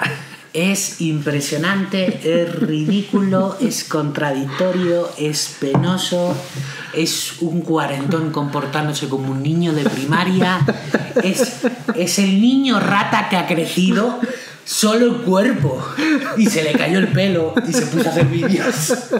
Es, es todo lo malo que muchas veces has querido ver en los sectores, ¿sabes? Y dices, ojalá este sector de los videojuegos dejase de ser porque... Y, es, y ahí empiezas a definir, claro, ¿sabes? Y eso es lo que empiezas a decir, porque bla, bla, bla, bla, bla, bla, bla, seguramente es lo que pongas a él en la descripción de su canal de YouTube. Ese es, ese es el problema que yo muchas veces veo. Ese contenido y a la gente que le gusta ese contenido, pues te puede gustar de broma. Ver. un momento en que te, yo lo seguí un tiempo hasta de broma, hasta que ya me empezaba a dar demasiado asco y cansancio. Yo hay gente que, que conozco que le sigue broma. Valles, por ejemplo, le gusta de broma. Lo sé, lo sé, yo le he seguido con él, pero yo creo que ya no le consume, espero, de verdad, espero que no le consume. Bueno, o sí, de vez en cuando. Oh, sí, pero bueno, punto gracioso. Pero es el, es que es que es muy malo porque yo creo que Es hay que gente que le sigue de que le quiere. ya, ya, ya. aprecia. Gente que se le toma en serio. Entonces es como es Hay gente que se le toma en serio. verle es como alimen- alimentar el fango, Sí. ¿sabes? Ese es el problema. Una de las cosas, o sea, yo era suscriptor de él, antes entraba por las risas y por el comentario y dejé de verle porque me di cuenta De que le que él mismo visitas. incluso utilizaba las visitas, utilizaba, o sea, le estaba dando.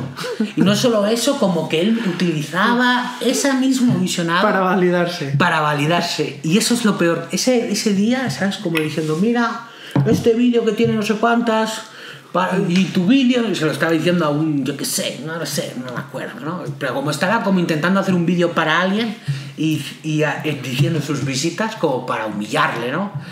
Y me di cuenta de que yo en ese momento yo contribuyendo. estaba contribuyendo. Y desde ese día no he vuelto a ver nada ya más de él. De verdad, ¿eh? No he vuelto a ver nada más. Fíjate, me, me estoy acordando ahora, ahora que dices de un youtuber que no te gusta. No sé si es mi youtuber favorito, pero está entre mis tres favoritos seguro. Tú le odias. Hostia. Entre los tíos favoritos y yo le odio. Sí. Y no le odias por su contenido. Le odias por su forma. Por su forma Por su forma de, de narrar, concretamente. De, hablar. narrar. Uf, hay mucha gente que me pone de los nervios como, como narra. Pues no lo sé. Triline. Triline. Triline. Buah, ya ni me acuerdo de él, ¿eh? Es uno que tiene un hablar muy. muy estridente. Esos son los que más odio. Muy, muy, pero estridente, muy exagerado porque además lo exagera Lo por exagera intencionadamente. Lo exagera intencionadamente. Y, y hace un contenido que es acojonantemente bueno. Toca mucho creepypasta. Hace mucho. mm. Creepypasta. sí, los creepypastas le quedan muy bien. Pero es la típica frase que yo escucho mucho ¿Sí? y realmente no sé. eh, No sabes exactamente a qué se refiere. Los creepypastas No sé son. qué quiere decir la gente, cada uno con ello. Yo creo que hay mucha gente usando la palabra y mucha gente pensando cosas completamente Los diferentes. creepypastas son leyendas urbanas de internet. Son cosas que alguien inventa en internet y se extiende, o bien porque la gente se cree que es verdad, o porque, bueno, pues porque, porque es Porque interesante. O porque es interesante. No, verdad no, si no, no es un creepypasta. Si es cierto, no es un creepypasta. Un creepypasta es una historia desmentida. Por ejemplo, el, el mítico creepypasta que luego eh, ha dado el salto de internet y se ha hecho una cosa real, eh, Slenderman. Slenderman em- empezó como un creepypasta, empezó como una Pero historia. Slenderman no solamente era un creepypasta, perdona. Cago en la puta.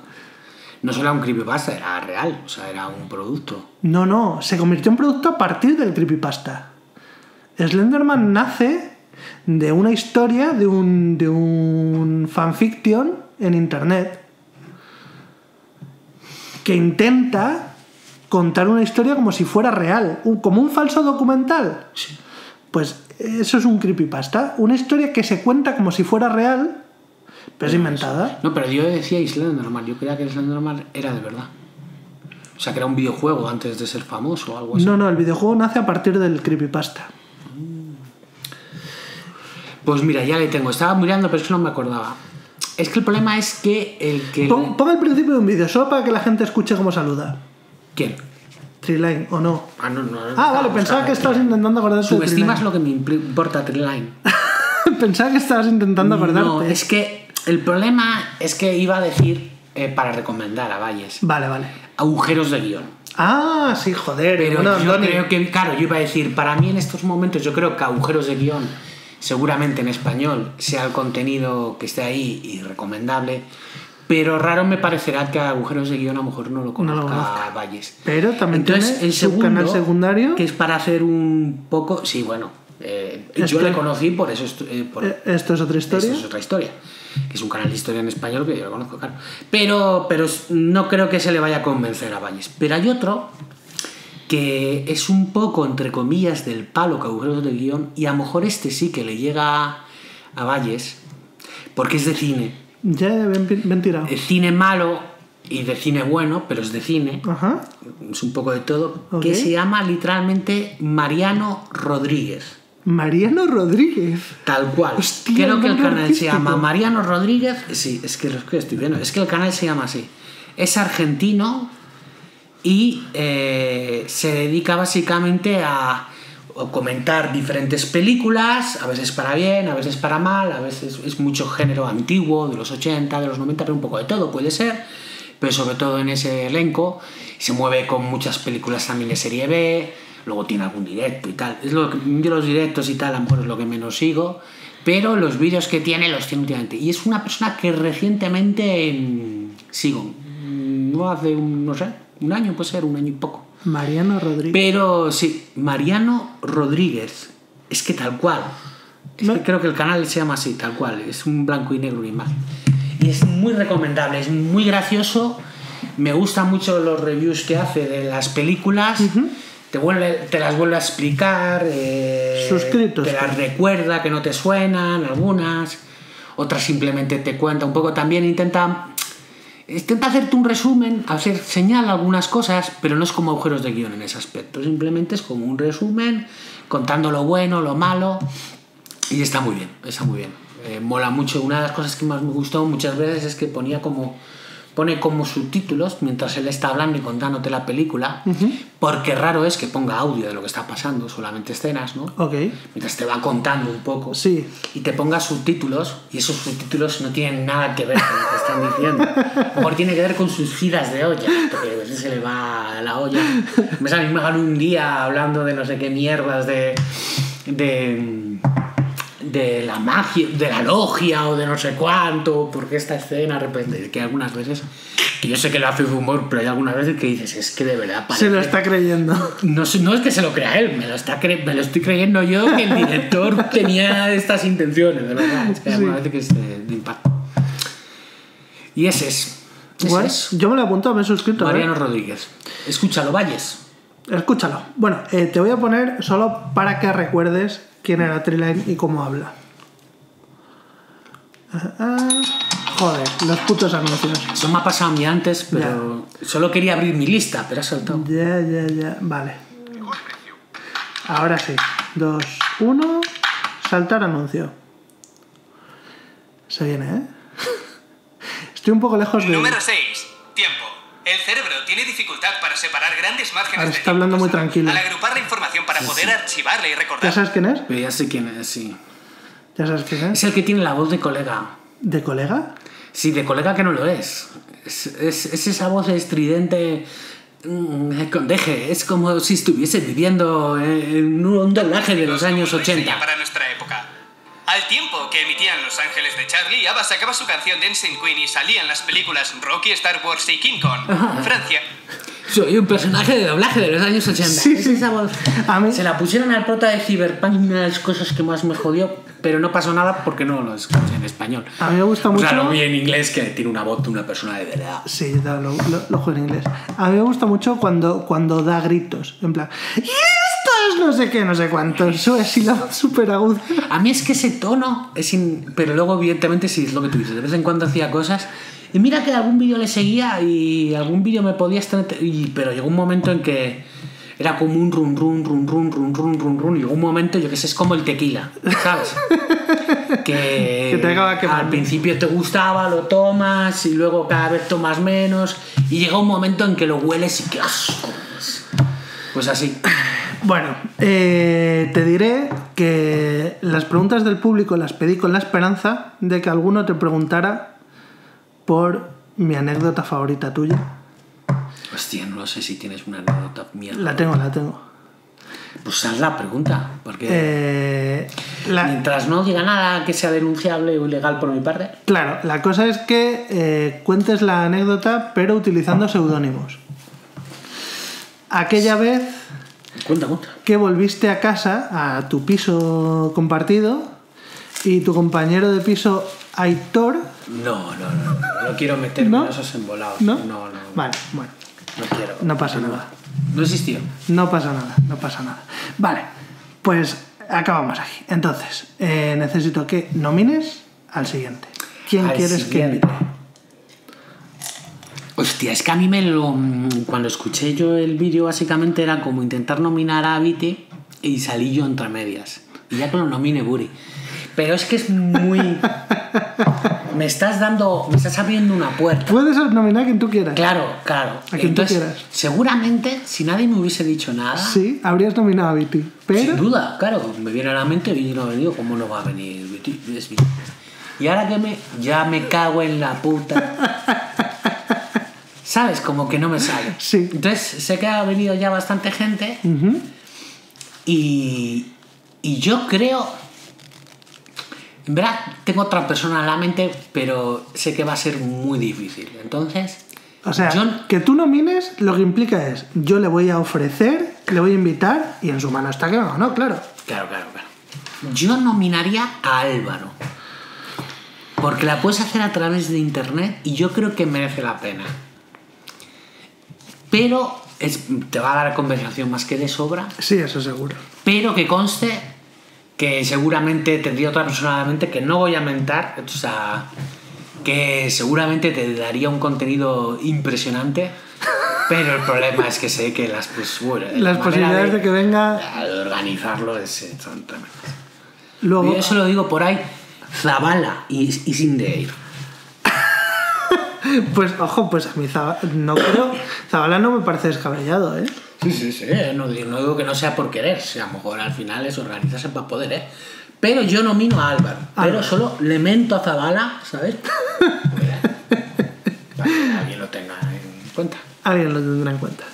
Pues Álvaro queda nominado y, y- y le invitaré, le pasaré este programa cuando lo publique y le diré que escuche el final. Álvaro, sin vergüenza. Para cerrar, una cosa muy rápida, un dato curioso. ¿Vale? Hoy os traigo vuestro dato terrorífico del día. ¿Datos?